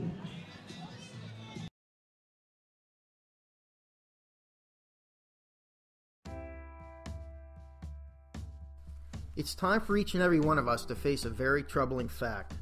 There exists a significant heroin and opioid epidemic in not only Butler County, but elsewhere across the country. I'm Rich Goldinger, the District Attorney of Butler County. This is my backyard and yours too. Together, we can work to eradicate the high level drug dealers that supply these drugs to those using them. Heroin and opioid abuse does not discriminate. Users come from all economic backgrounds, are male and female, and may be teenagers or middle aged adults. With your help and in conjunction with the Butler County Drug Task Force and the Pennsylvania Office of Attorney General, we can target those dealers who bring this poison into our county. Please report any suspicious activity to your local law enforcement agency, the Pennsylvania State Police, or to my office. This is our ballpark. This is our county. This is our backyard. Let's all say, not in my backyard. Please enjoy tonight's Blue Sox game.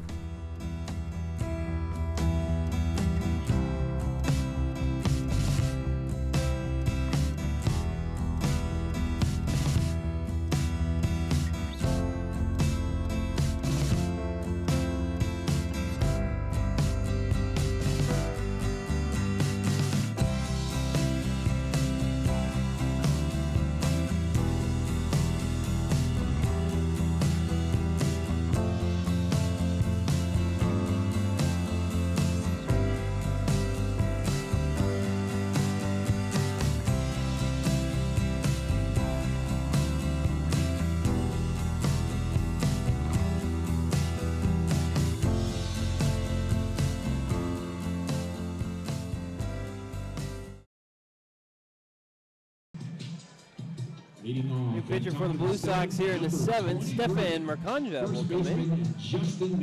Two innings of relief earlier in the week for him. Uh, back against um, champ, or I'm sorry, uh, Kokomo in that win the other night on uh, Thursday. First pitch to Mitchell was a bouncer. The Blue Sox trailing six to four. Mercanja two and two thirds innings pitched on the summer. A little roller to first. Ferguson's there. He's on the bag. One away. That might have been a broken bat. Sounded, Yeah, sounded. Number seven, right fielder Sounds like a broken bat. Yeah, Mercanja, he has four strikeouts in two and two thirds innings. Uh, so that's good. Not, guys miss swinging and missing, not making great contact with him. No earned runs, ERA of zero. So that's always good. The ball flared out into left field. That's a base hit. Norman's thinking two. Gunn's gonna fire in, and it's not in time. Double for Norman. He's come busting out of the box. That's good base running, and he's got himself Now into for scoring Number position. six, the designated hitter Dan Ward. Looking for some insurance runs here late in this ball game. Yeah, that was. I gotta tell you, that's excellent hustle. He knew the way he hit that ball, it was gonna it was gonna die out in shallow left, and if he busted it, he, was gonna get into second. That's exactly what he did for Dan Ward. Mercanja checks second. And comes home. Fastball is outside.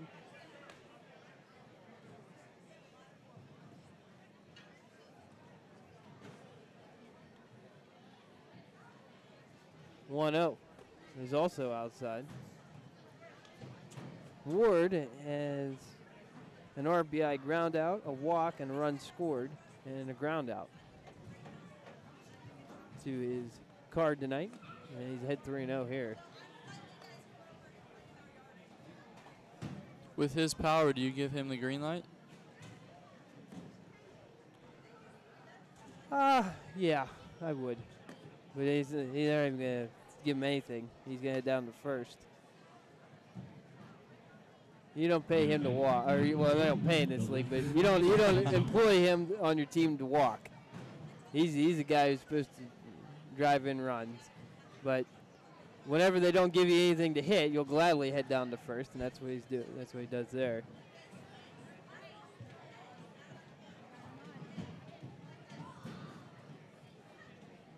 Nice crowd, nice night. The only thing wrong is the score. 6-4 in favor of West Virginia. And Mercanja with two men on and one out will face Eddie Gonzalez, who homered back in the third inning. Bunts here. Mercanja will field. Throw to, f- no, he's going to eat it. And the bases are loaded. Infield single on a sacrifice attempt by Gonzalez. That was a beautiful bunt. He I, yeah, it was. he placed that in a great spot. So honestly, I don't even. It would have worked as a sacrifice, but I think he he put it in a position where they he could have got on base, and it, it surely did work with an excellent placement of that bunt. That brings up Bergeron with the bases juice. This is the second, third time tonight that the, the Miners have had the bases loaded. And they've got one run to speak of out of it. Ground ball here will get him out of it, most likely. I was, I was just gonna say, assuming there's no errors. Or it's slowly hit or something. If a routine grounder will get him out of the inning. Infield playing double play depth and the corners are in line with the bag. Ball popped up. This is playable for Ferguson and or Maglione. And one of them caught it. I'm not sure which. It's Maglione. He's got the ball. And that's a foul and a big out. Now batting number 14, third baseman Chad Ramsey. yeah, now with two outs here in the seventh, um, really any any ball hit that is playable is okay because they're not going to have to sacrifice a run. Mercanja steps off. Chad Ramsey from Missouri Baptist University, a native of Damon, Texas. Ready to go. And ball trampolines off the plate, and that will score a run. In fact, it goes into the stands. Oh, that's unfortunate. That's the first time I've seen that ever. The ball actually hit off the net and found its way underneath. That ball almost went over the net. That's how high it went. It caught off the plate in a really weird angle, and it went so high that it was just probably six inches um, from the top of the net. But they did not award the runner home that was on that was going to third. So Yeah, dead ball. yeah. He gets one base. hmm 1 0 count. 7 4 ball game now in favor of West Virginia. The pitch is inside, 2 0. That's one thing here. That It seems like if it hits the plate coming down, that ball, it, it must have a springboard underneath it because that ball will just take off. Yeah. A little roller to first. That's a fair ball, and Ferguson's got it to end the inning. But the Miners do get one back here. It's stretch time at Kelly Automotive Park with the All right, ladies and Blue Sox down seven to four. Seventh inning stretch.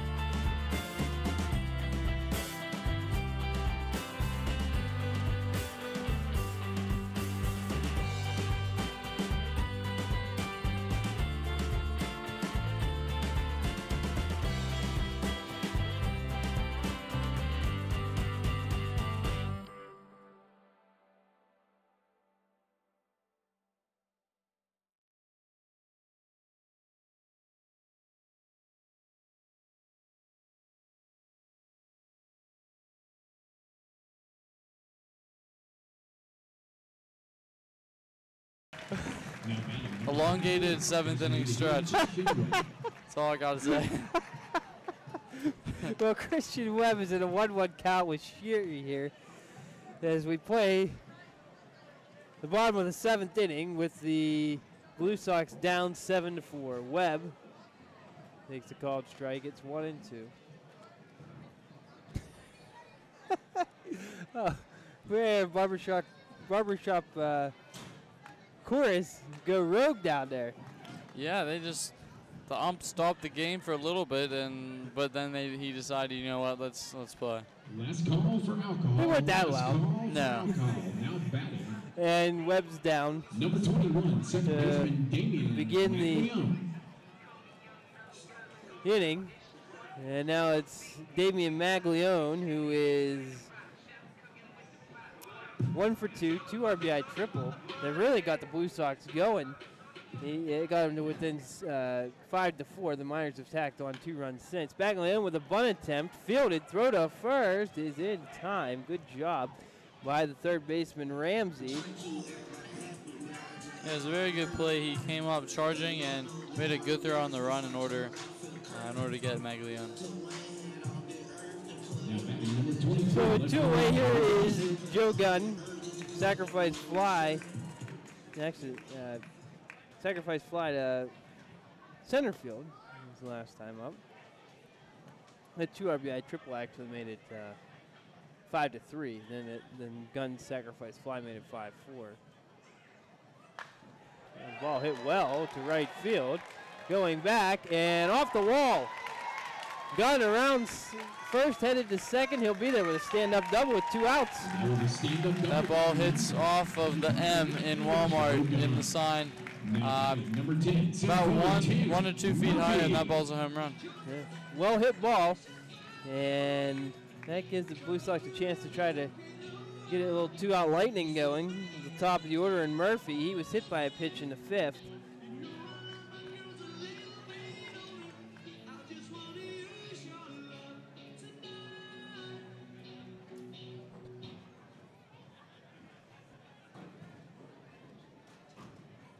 First pitch inside from Sheary. This is a uh, so uh, he's he's sticking with them here.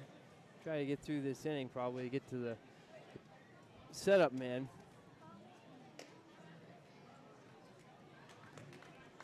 Got Parks the lefty on deck, and then Scott, the right fielder, is a right-handed batter. If we can get that far, that'd be good.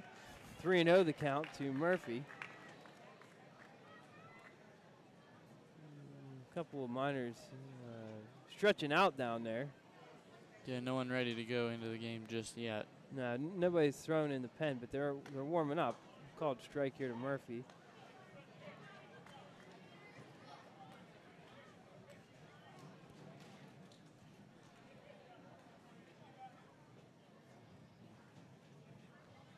The 3 1 hard hit grounder. Oh, Cody does the splits out there at third base. The third base coach. Uh, good job of getting out of the way of that one. it pays to be an athletic third base coach. It does. Indeed. Instead of having an being an older man not really able like a guy like Clint Hurdle trying to do it. 3 2. Chopper, that's a fair ball. Deep in the hole. Throw down. Does not beat him. Actually, the throw beat him, but the first baseman is off the bag. Or at least he was rolled off the bag. Yeah, he's not very happy with that call. He's telling the ump that he was on the bag. He's trying to get an appeal. Give him an infield single for now. First baseman over there, Mitchell, asking for the umpire to give him an appeal. Oh, now Goddard's going to go out. He's going to have to take a mound visit. Now he's taking a detour over to the bases umpire, and he's going to ask for an appeal.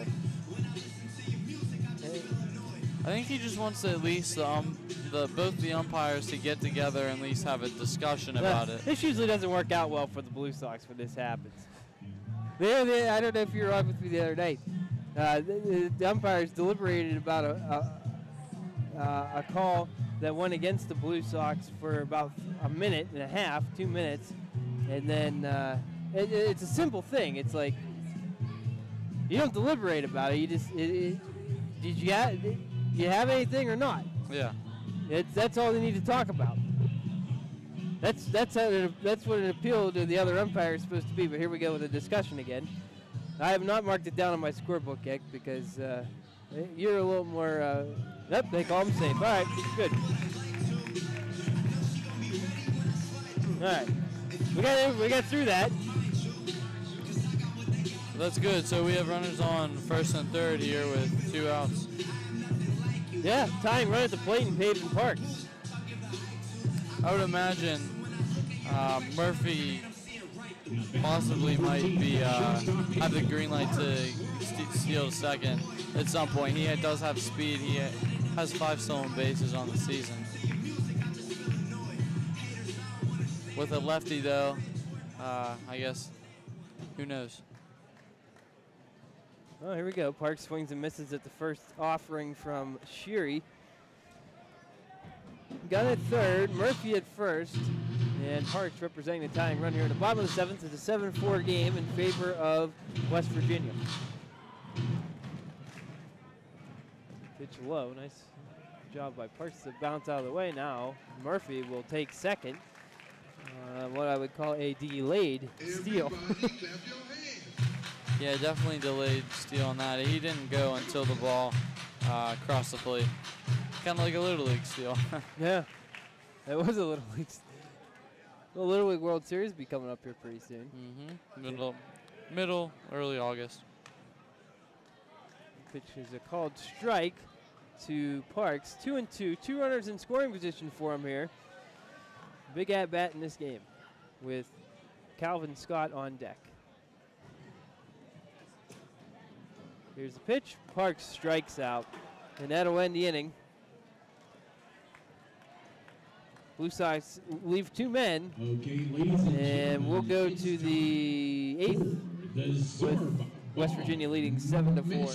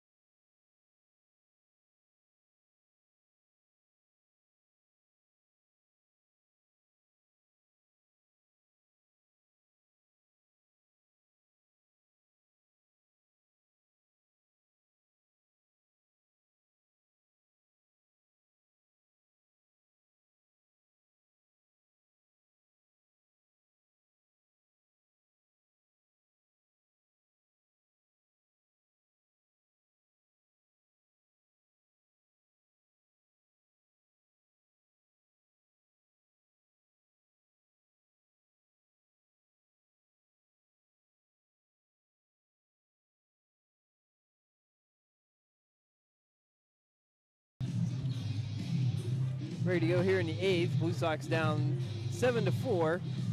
The eight, nine, and one hitters do up Christen, Callaway, and Schul. And no face Stefan Mercanja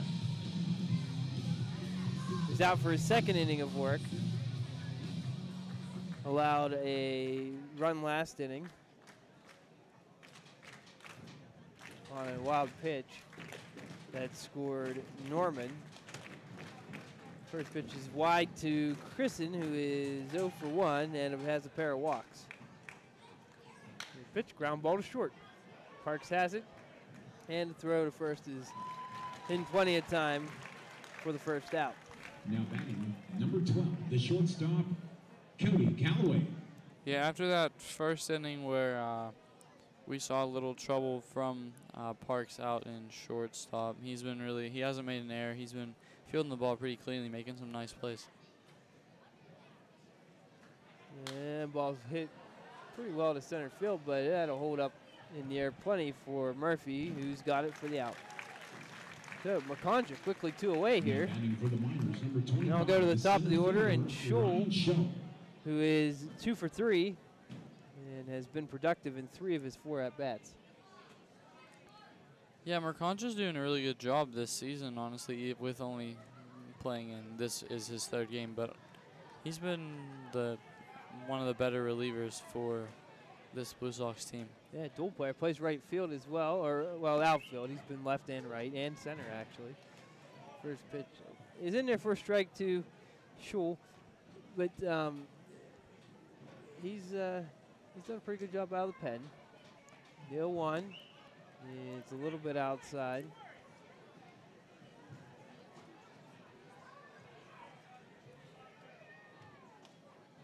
Check the scoreboard here real quick. See how everybody else is doing. If the Blue Sox are not able to get a few runs across, West Virginia then will be tied at eight and nine after tonight. Champion City is leading Kokomo eight to three. They're a half game ahead of the Blue Sox right now. They could move a game and a half ahead of both Butler and West Virginia if this result stays. 2-2 count here. Danville five, Quincy nothing in the bottom of the fifth. Check swing, full count. Lafayette six, Springfield one in the top of the seventh, and Chillicothe five. They continue to just uh, rake to start the season. They're absolutely on fire. And Terre Haute is looking to break a four-game losing streak. Chopper to short, throw to first, is in time. Nice throw from Parks to get the final out here in the eighth. We'll go to the bottom half with Butler down seven to four. And now, ladies and gentlemen, I will announce the Adidas scorecard winning number.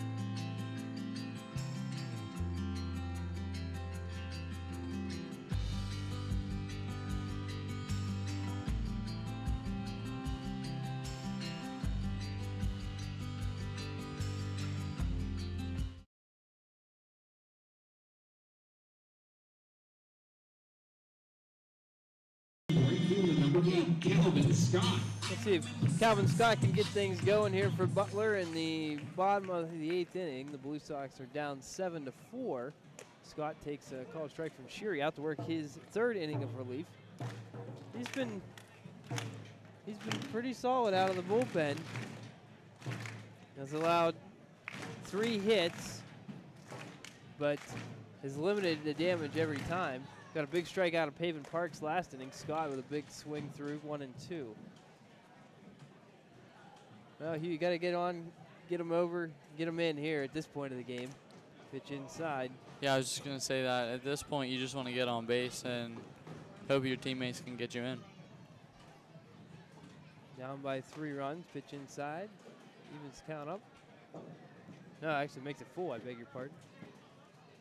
This is the same thing Scott did earlier. He had uh, five pitches, didn't didn't uh, swing one. He swings through that one though. Sheary gets a strikeout, and there's Now, one away. Number 19, the third baseman, James Meeker. Here's James Meeker. Walk to his credit, takes a strike here.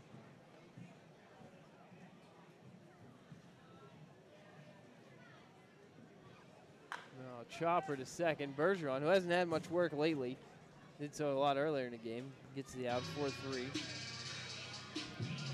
Now batting number 22, the catcher, Brady Gulikowski.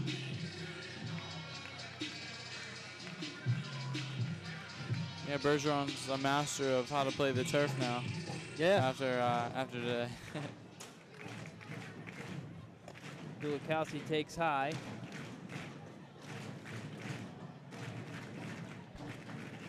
Fans trying to get their home team into it. Sheary has been solid here. Gulikowski almost hit, gets out of the way.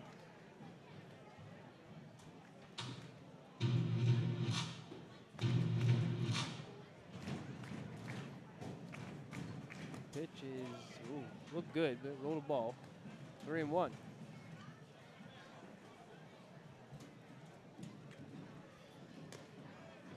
Now take ball four, head down to first. hey, two out rally. Now batting for the Blue Sox, Had number that last inning. the first baseman, Patrick Two outs, a double, then a, a single.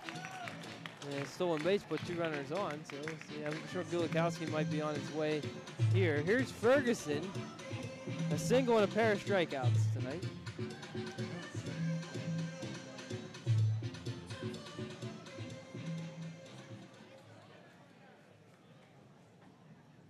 Pitch. Ooh, he wanted it, but he swings through a high fastball. He's trying to make a difference right now with this at bat. Here's the 0-1. That's right there too for a called strike. Ferguson in trouble. Doesn't want to get the hat trick here. No, he does not. The 0-2 is high. Ferguson actually leads the team with 23 strikeouts. That's coming into today. And he's at uh, 25 now. Yeah. Ooh, good take on a curveball that broke off the plate. You'll get that a lot though. You'll see the the bigger power guys. The they'll either make some really really good contact strike or out. here. strike out. Unfortunately, a hat trick tonight for Ferguson. now, gentlemen, runs, no hits, no errors, one man left. This is our last Ninth inning here. contest of the evening, Coming up with the Blue Sox down race. Take it seven away, guys. Thanks, Jake. We're down here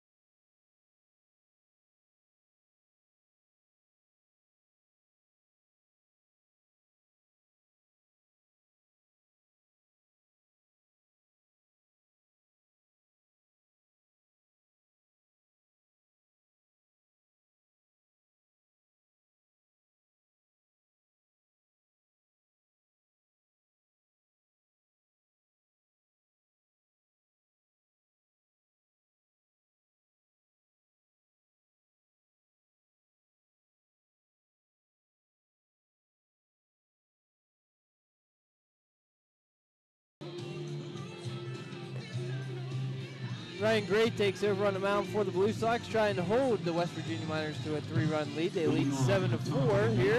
For the West Virginia Miners, Top of the 23, ninth inning. First baseman Justin Mitchell. Justin Mitchell, first guy he'll face. He's two for four tonight, two RBIs, uh, triple to his credit. Ryan Gray.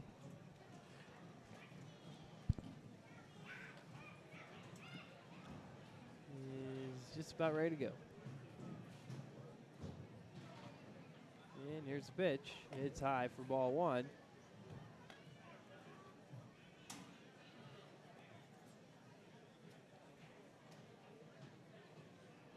Hugh, did they win the last time you were on? Yes, they did. It was fireworks night. Yes, Oh, that's right. Yeah. You get the fire. You're you're a fireworks uh, I guess. yeah. fireworks color guy. 2-0 count. Same two teams tomorrow. 1:35 start time. Yeah, Father's Day. Yeah, Father's Day. Uh, after the game, bring your kids, take them out onto the field and play catch. Should be a should be a good day. We got Michael Klingensmith on the mound for the Blue Sox as the probable actually, and then uh, West Virginia's probable. We'll call it strike here, three and one. Is Nick Dearmond. So he actually faced Butler earlier this week on Tuesday. Uh, foul tip. And it's a 3-2 count. Yeah, Gray's job right now is just to hold them. Don't let West Virginia score any more runs, hopefully, and um, the Blue Sox will need three runs to at least tie in the bottom of the inning. Yeah, just get three outs. Yeah.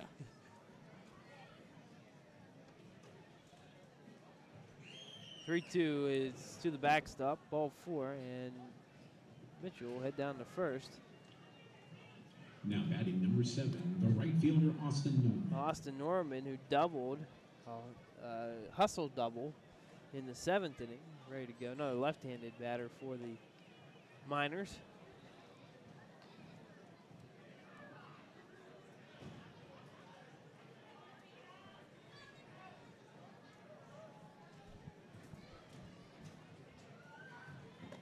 And first pitch misses high.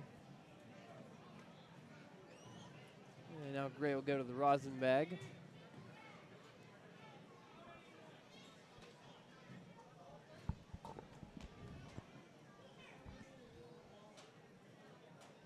See if that rosin helps him here. Oh, ball smashed to center field and deep. That's going to go all the way to the wall. Murphy's got to it, but not before. Uh, stand up double, and now the run coming in to score. Standing up, and it's eight to four. Mitchell in to score, and Norman on second with an RBI double. The last one was a hustle double. That was a batting number six, double. designated hitter Dan Ward. Yeah, he uh, he just jogged into second. He knew he was going to be safe with the runner um, ahead of him. He didn't he didn't go to third. You know, why push it at this point? You're just trying to get insurance runs. Dan Ward at the plate. Battle of number sixes here. Gray misses outside.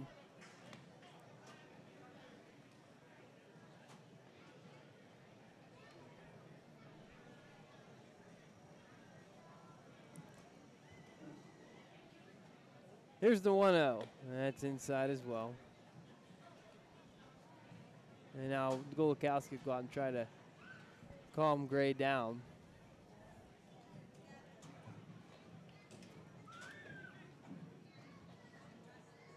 Those two runs allowed in the early innings um, may not show up on the scoreboard is really affecting them, but that changes how the rest of the game goes on, and uh, really is coming back to bite Butler. Yeah, they had their opportunities here. Uh, they had a tying run at third. They had two men in scoring position to cut the lead to one.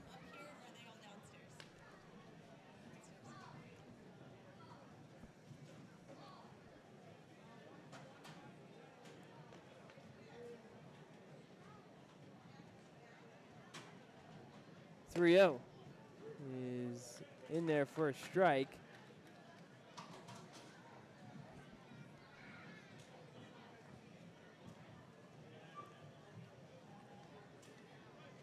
A check of second by Gray.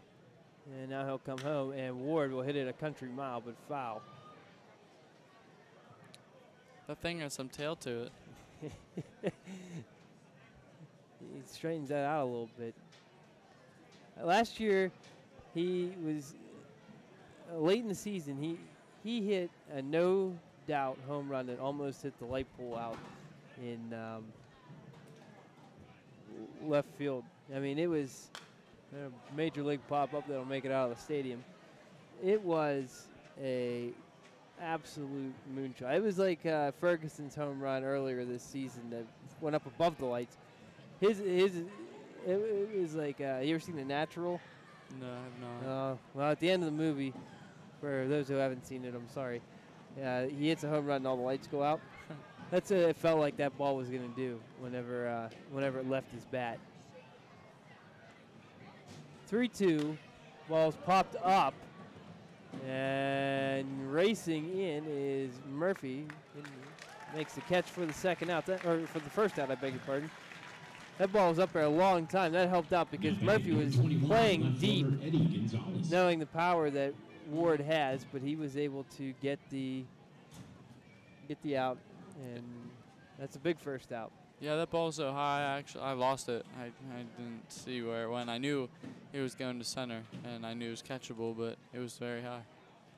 So here's Gonzalez. He homered back in the third inning.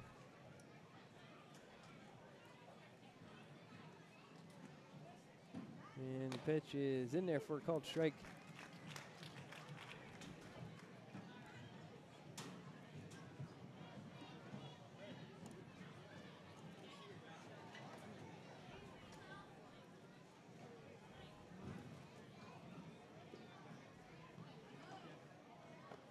Pitch is away.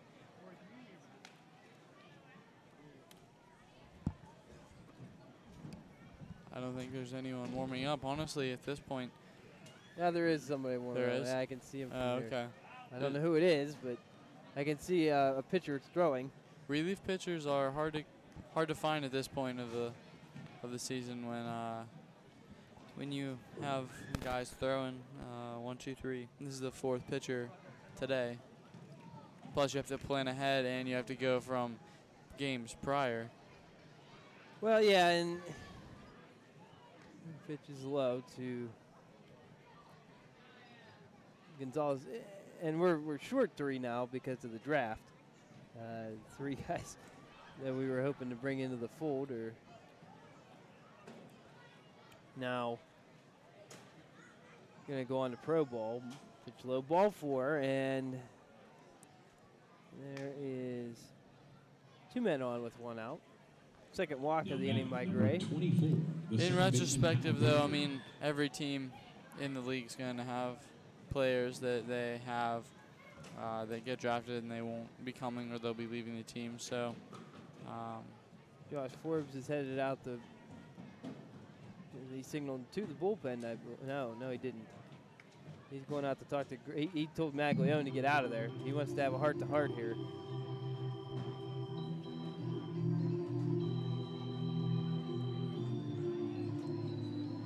Pat on the back, and now head back in. Hey, go ahead, uh. Or um, uh, Hugh. I'm sorry. What were you saying? uh, just how everyone has uh, the players that will get drafted. So it's kind of depending on the skill level of the players and the year. Um, not an even playing field, but it happens to everyone. Yeah, we we definitely got hit the hardest. Yeah, really. of any team. Uh, uh, Champion City had a, a pitcher drafted in the fifth round that was on the roster. Pitch high here, and um, a couple other teams. Uh, West Virginia had a few guys that were uh, from previous teams that were drafted, including uh, Jake Belinda in the tenth round. Uh, uh, Zach Steery is another one. One-one count here with uh, Bergeron.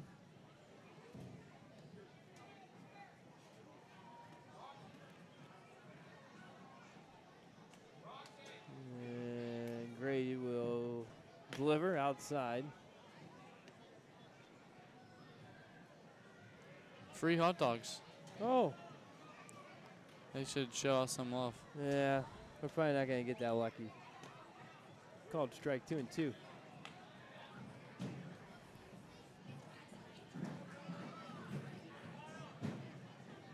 I'm actually getting pretty hungry too. Yeah. I could have. I would have gladly taken one of them. but hey, the fans take them. Foul ball, hard hit foul ball. Uh, Bergeron.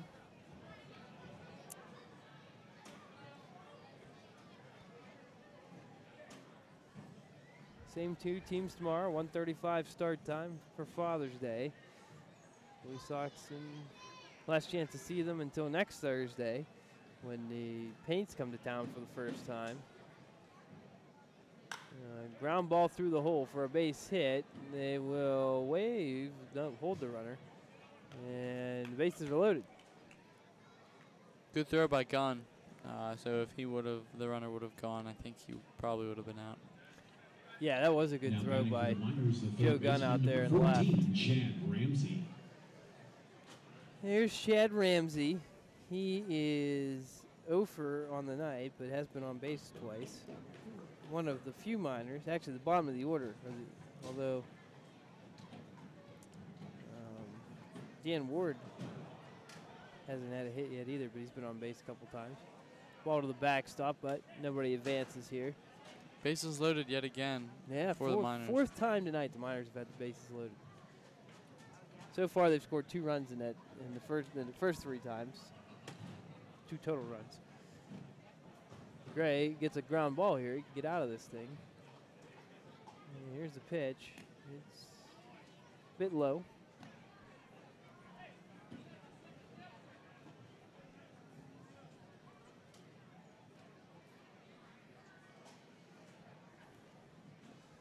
Two and zero. Oh, foul ball. Have got his foot. Yeah, he's walking it off. Never a good feeling. No. What do you think of the camo green gray combo?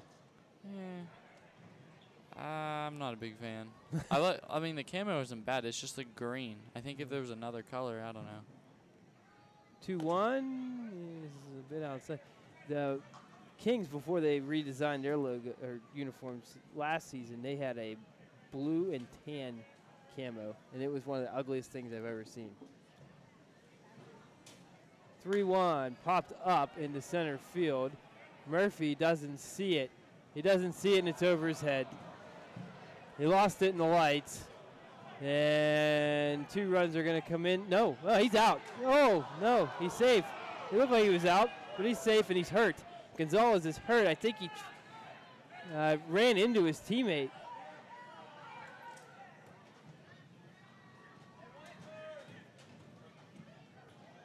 I believe that. Well, he was safe. ro- I think he rolled his ankle. Gonzalez. He's up. He's going to walk it off. That's a good sign. To s- two runs come in on that.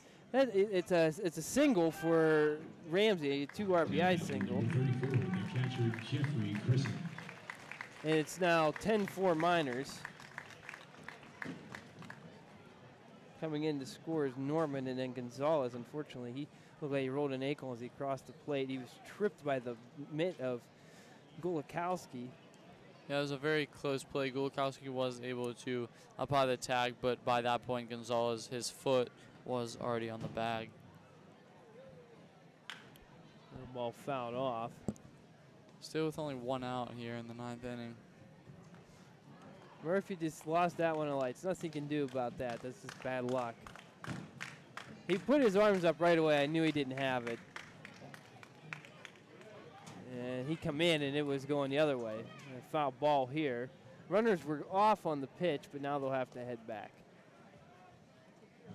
No two count on Christen. One of two Miners not to, or no, he did reach base. He's reached base twice. There's only, uh, Callaway has not reached base.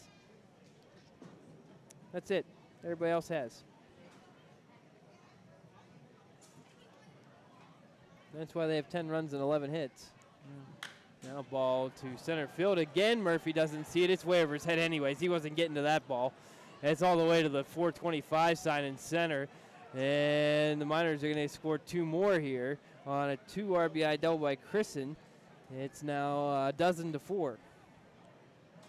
Yeah, he um, not Murphy with uh, not seeing the ball that really Uh, didn't stop. That from being a hit. Nah, Uh, could have stopped possibly runs. Uh, possibly depends on how fast he would have got to that ball, being that he just was frozen for a little bit. But uh, at this point of the game, uh, I don't know.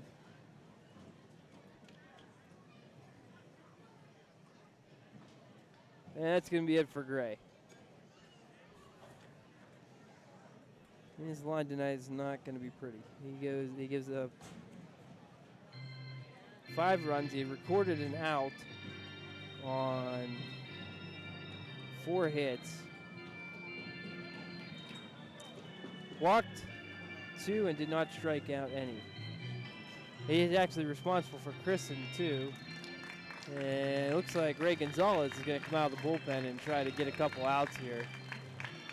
And mercifully get this inning over with. Five, five runs across already for the. raffle number. I will announce the winning number. That winning number is here. 1448.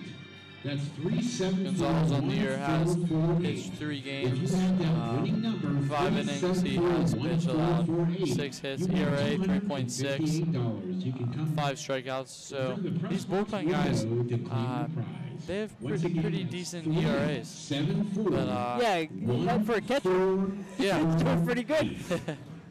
Uh, Gonzalez from North Florida, native of Orlando.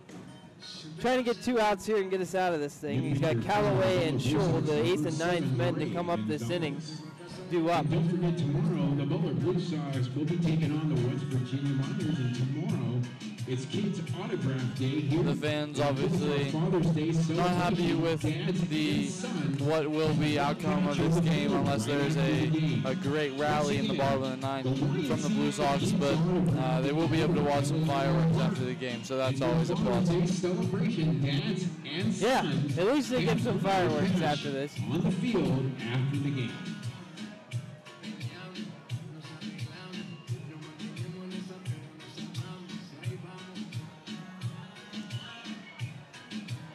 I'll tell you, it's warm out tonight. And you, we know that from being out here, but if you can't tell if you're sitting at home watching the game, look at the umpire shirts. Yeah, They're- they're different colors. darker shade of blue in most spots. yeah. once that's once once the sun went down, it was a. It's been better, but obviously it's still real, hot. real sticky. Yeah, real humid. My hands are pretty pretty I sticky. feel like my shirt's Uh-huh. sticking to me. But hey, there's a lot worse things we could be doing right now. Any day I will take hot hot over cold. That's just me though. Yeah, I'm with you on that. I can't stand the snow. I need to move somewhere south. I absolutely hate snow. The only day I like to see snow is on Christmas. That's it. now we're uh, Cody's coming out to talk about something here.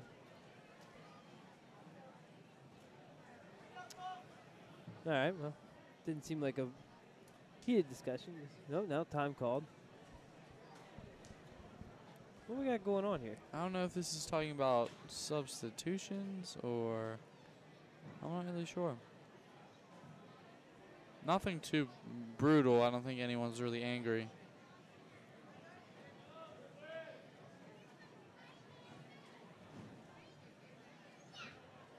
All right, well, whatever it was, it's over.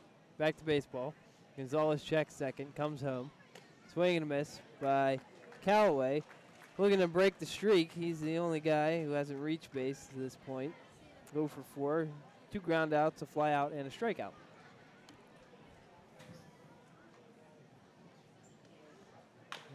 Chopper off the foot. Oh, that hurts. Seen that a couple times today. Yeah.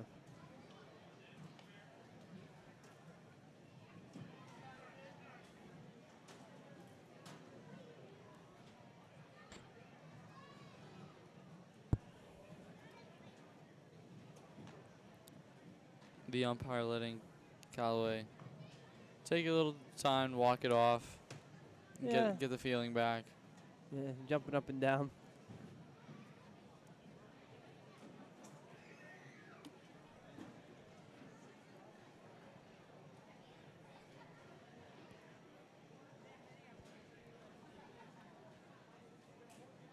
Gonzalez got him 0-2 here.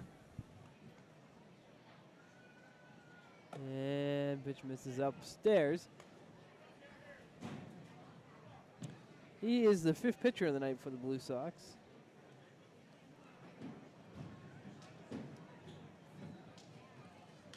Now foul ball. This inning feels like it's taken about a year. Yeah. You're right. When it gets towards the end of the, end of the game, usually, at least this season, um, the ga- the ninth inning has been one of the longer innings. Uh, swing and a miss. Gonzalez gets Callaway to strike out for the second out here. Now the ninth man to come to the plate, Schul, will get in the box. Kokomo down 8-3 to Champions City in the top of the ninth. Fielder, Ryan Shaw. Quincy down 5-4 to Danville in Danville in the top of the seventh. In the top of the ninth, it's Chillicothe 5, Terre Haute 3, and Lafayette 7, Springfield 1 in the top of the eighth. Pitch misses to Schul.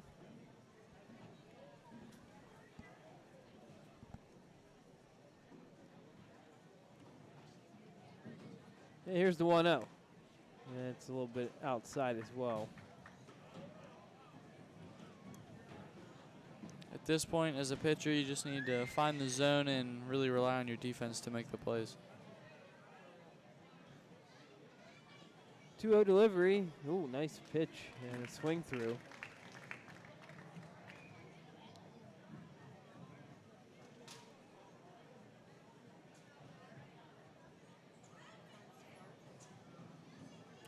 Well, Miners has been efficient tonight. 12 runs on 12 hits. They've taken the most of the times they've been on base.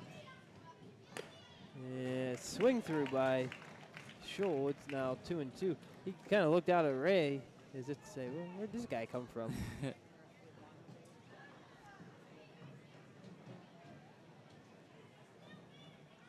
Pretty good for a guy who spends most of his time receiving pitchers Yeah. as a catcher. Swing and a miss, strike three. That'll end the inning. And the but the Miners have put some padding on their lead. Five runs come across, and we'll go to the bottom of the ninth. Last chance for the Blue Sox. They're down 12 to four. Everyone's favorite part of the week is Thursday because that means it's Thirsty Thursday. Come out to Kelly Automotive Park each Thursday to support your favorite hometown team, the Butler Blue Sox, and enjoy our special concession prices, including $1 draft beers and 50 cent pops. Tickets start at just $7 and can be purchased online at butlerbluesox.net and or by phone at 724-256-9994. Let's go Blue Sox.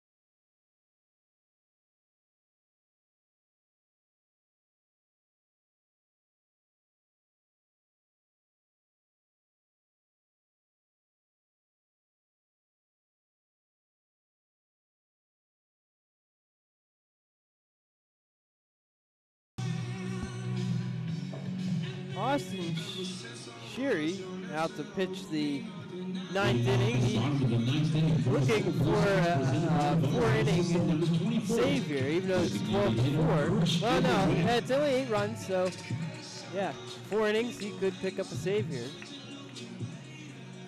Nyland on the night is in line for the win. He went five innings, allowed four runs, and they were all earned. Christian Webb takes a strike from Sheary. Here's the pitch. Webb takes strike two. Maglione and Gunn will follow. Pitch outside. Sh- Sheary's working really fast this inning. Yeah, he's just trying to get through this, I think. With an eight-run lead, why, why wait around? His, his delivery is really weird. It's like he doesn't fully extend his arm. He just like keeps his elbow closed, if that makes sense. Foul ball out of play. Yeah, it's a little herky-jerky, Yeah. but it's effective. Mm-hmm. Clearly, yeah. I, I thought at first he was like a three quarter, but he's kind of coming over the top. But he's not, like you said, he's not finishing, so it looks like he drops down a little yeah. bit. And Webb strikes out to begin the bottom of the ninth. Baseman Damon Maglione. And Here's Maglione. He had a two RBI triple back in the fifth. That was about the highlight of the night for the Blue Sox. Yeah.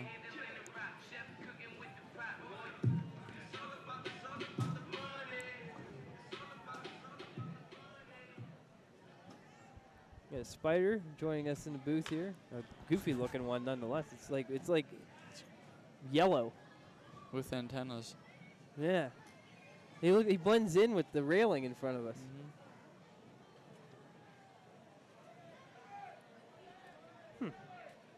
Well, now the attendance is like 1,002. with Yeah. This spider now Mm-hmm. making his way here. Anyone's welcome here at a Blue Sox game. yeah, we won't turn anybody away. One-one count. For Maglione, one out here in the bottom of the ninth. Blue Sox needing a minor miracle. That, that'll work. That's a base. Well, it's going to be at least two for Maglione. He's hard out of the box. He'll get the second, and he will stay put. No chance of, no point in trying to risk three there. And Maglione with another extra base hit. He's got two on the night. That was real nice. It just went inside the third base bag and then went in the foul territory. Um, that was a really nice, nice hit.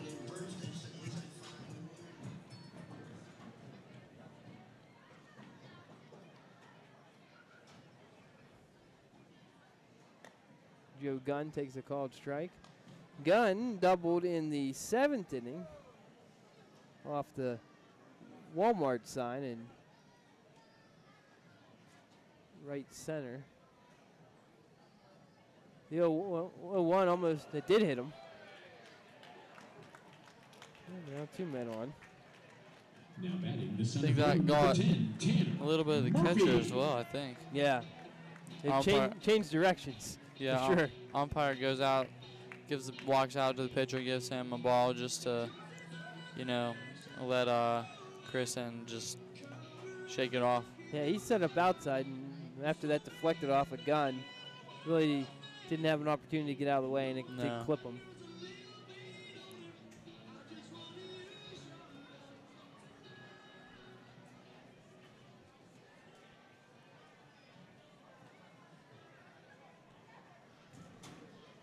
All right, one out, two men on.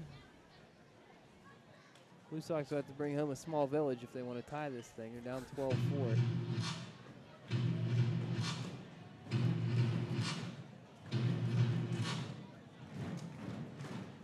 Ball popped up and heads up. Oh, it hits off the dugout and goes up into the general mission. Just a strike, and Oh, yeah. not an, not as an eventful one as it could have been. As all the all the kids from field level are rushing up here to general admission to try to find that ball. Yeah, every kid in attendance. Yeah. Oh, another one. That one's gonna make it out into the street.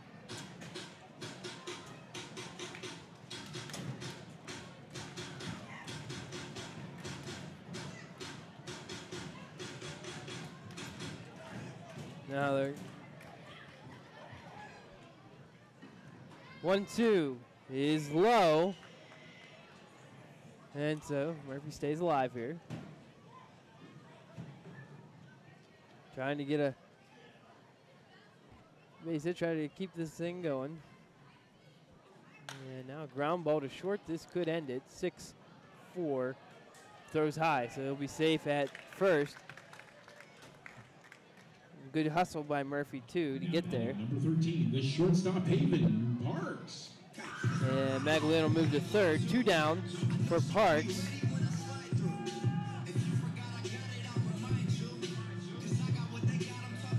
Sheary's really not worried about that runner at all. He's just focused on getting one out. Uh, he has many batters uh, that he could face with, with allowing runs, and he's still in good shape. Sheary struck out Parks in the last time these two We're up against each other. First pitch it's a called strike.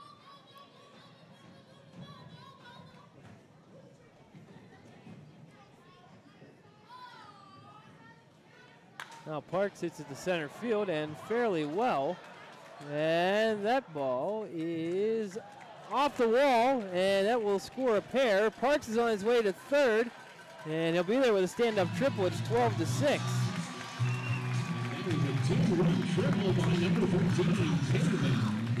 Little two-out rally. That uh, that triple, he, he needed that. He was kind of struggling today with two strikeouts and uh, two groundouts. Uh, that, he really needed that.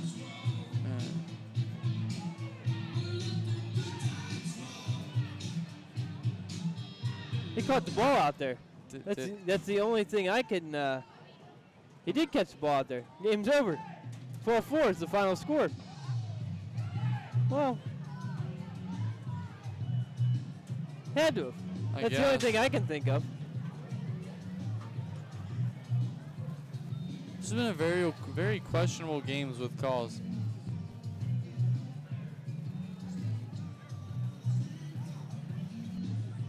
All right. So uh, that's about right for the way this thing.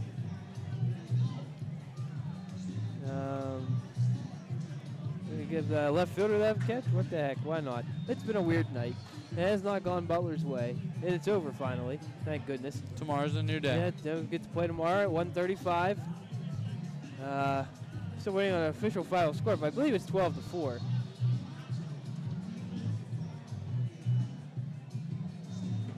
All right, so Ladies and gentlemen, the call is the runner ran overran third base and he was called out. Okay, I did not see that either. 12 12-6 final. He overran third base. Is that what?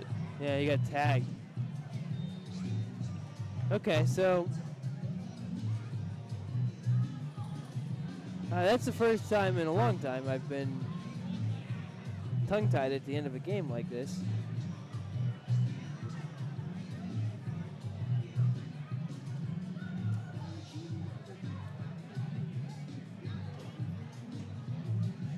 Eight five put out. Okay, so anyway, it's final score 12-6 tonight. Not the Blue Sox night. Not really much to recap. Uh, in the fifth, but this is when you just turn the page and go on to the next day. Yeah, that was all. Uh, that, like you said, in the fifth inning, that was really the production. Aside from that triple from Haven Park that happened a couple minutes ago, other than that, the fifth inning was really the only sign of life for the Blue Sox. Seven. All right, well, final score tonight 12-6. West Virginia wins it. They both both teams are now 8 9 on the summer. Tomorrow 135, we got